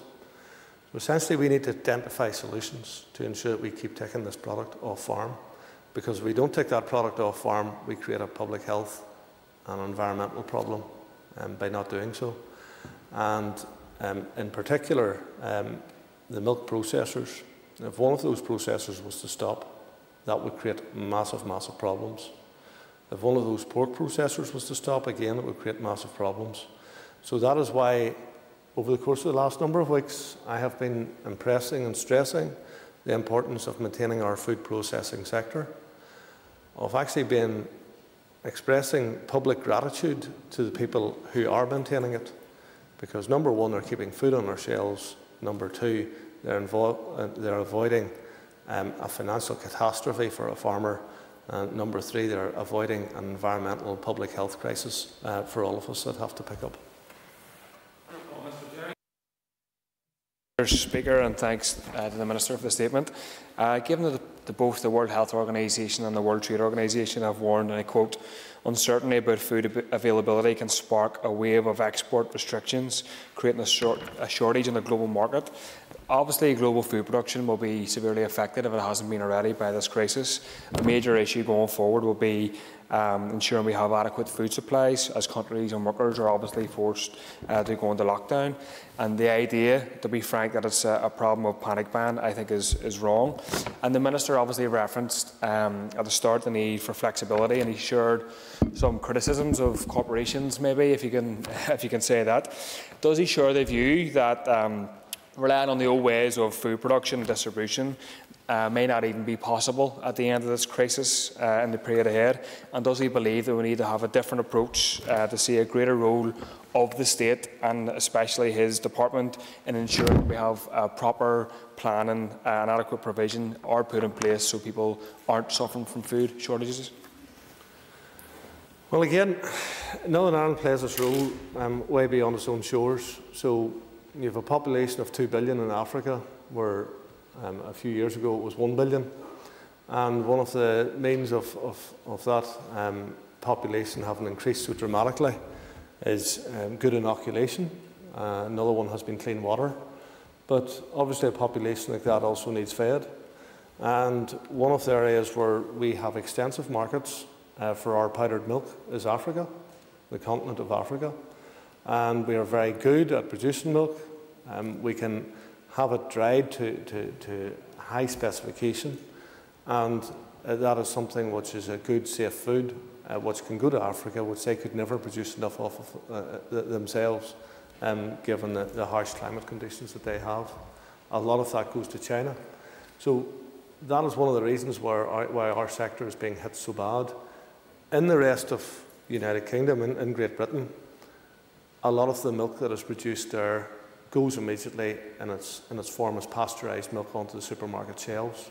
So they're less sophisticated in terms of, of, of what they actually produce. So it's, it's off the farmer's milk, pasteurised bottles onto the supermarkets. That is the majority of their, of, of their sales. The majority of our sales is your powdered milk, your butters, your cheeses, and that is largely exported. So we are much more vulnerable in Northern Ireland to that export market and that global market um, as a consequence.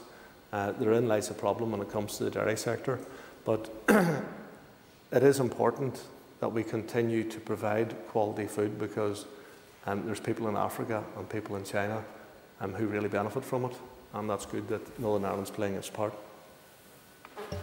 Thank you, Minister, and thank you for answering all of the questions. Agenda item 4 is the time, date and place of our next meeting. We have received confirmation from both the Education and Communities Ministers that they each want to make a statement to the ad hoc committee at a meeting to be held on Thursday, the 9th of April, here in the Assembly chamber. The Speaker's office will write formally to all members to confirm this. This concludes this meeting. Stay safe. God bless.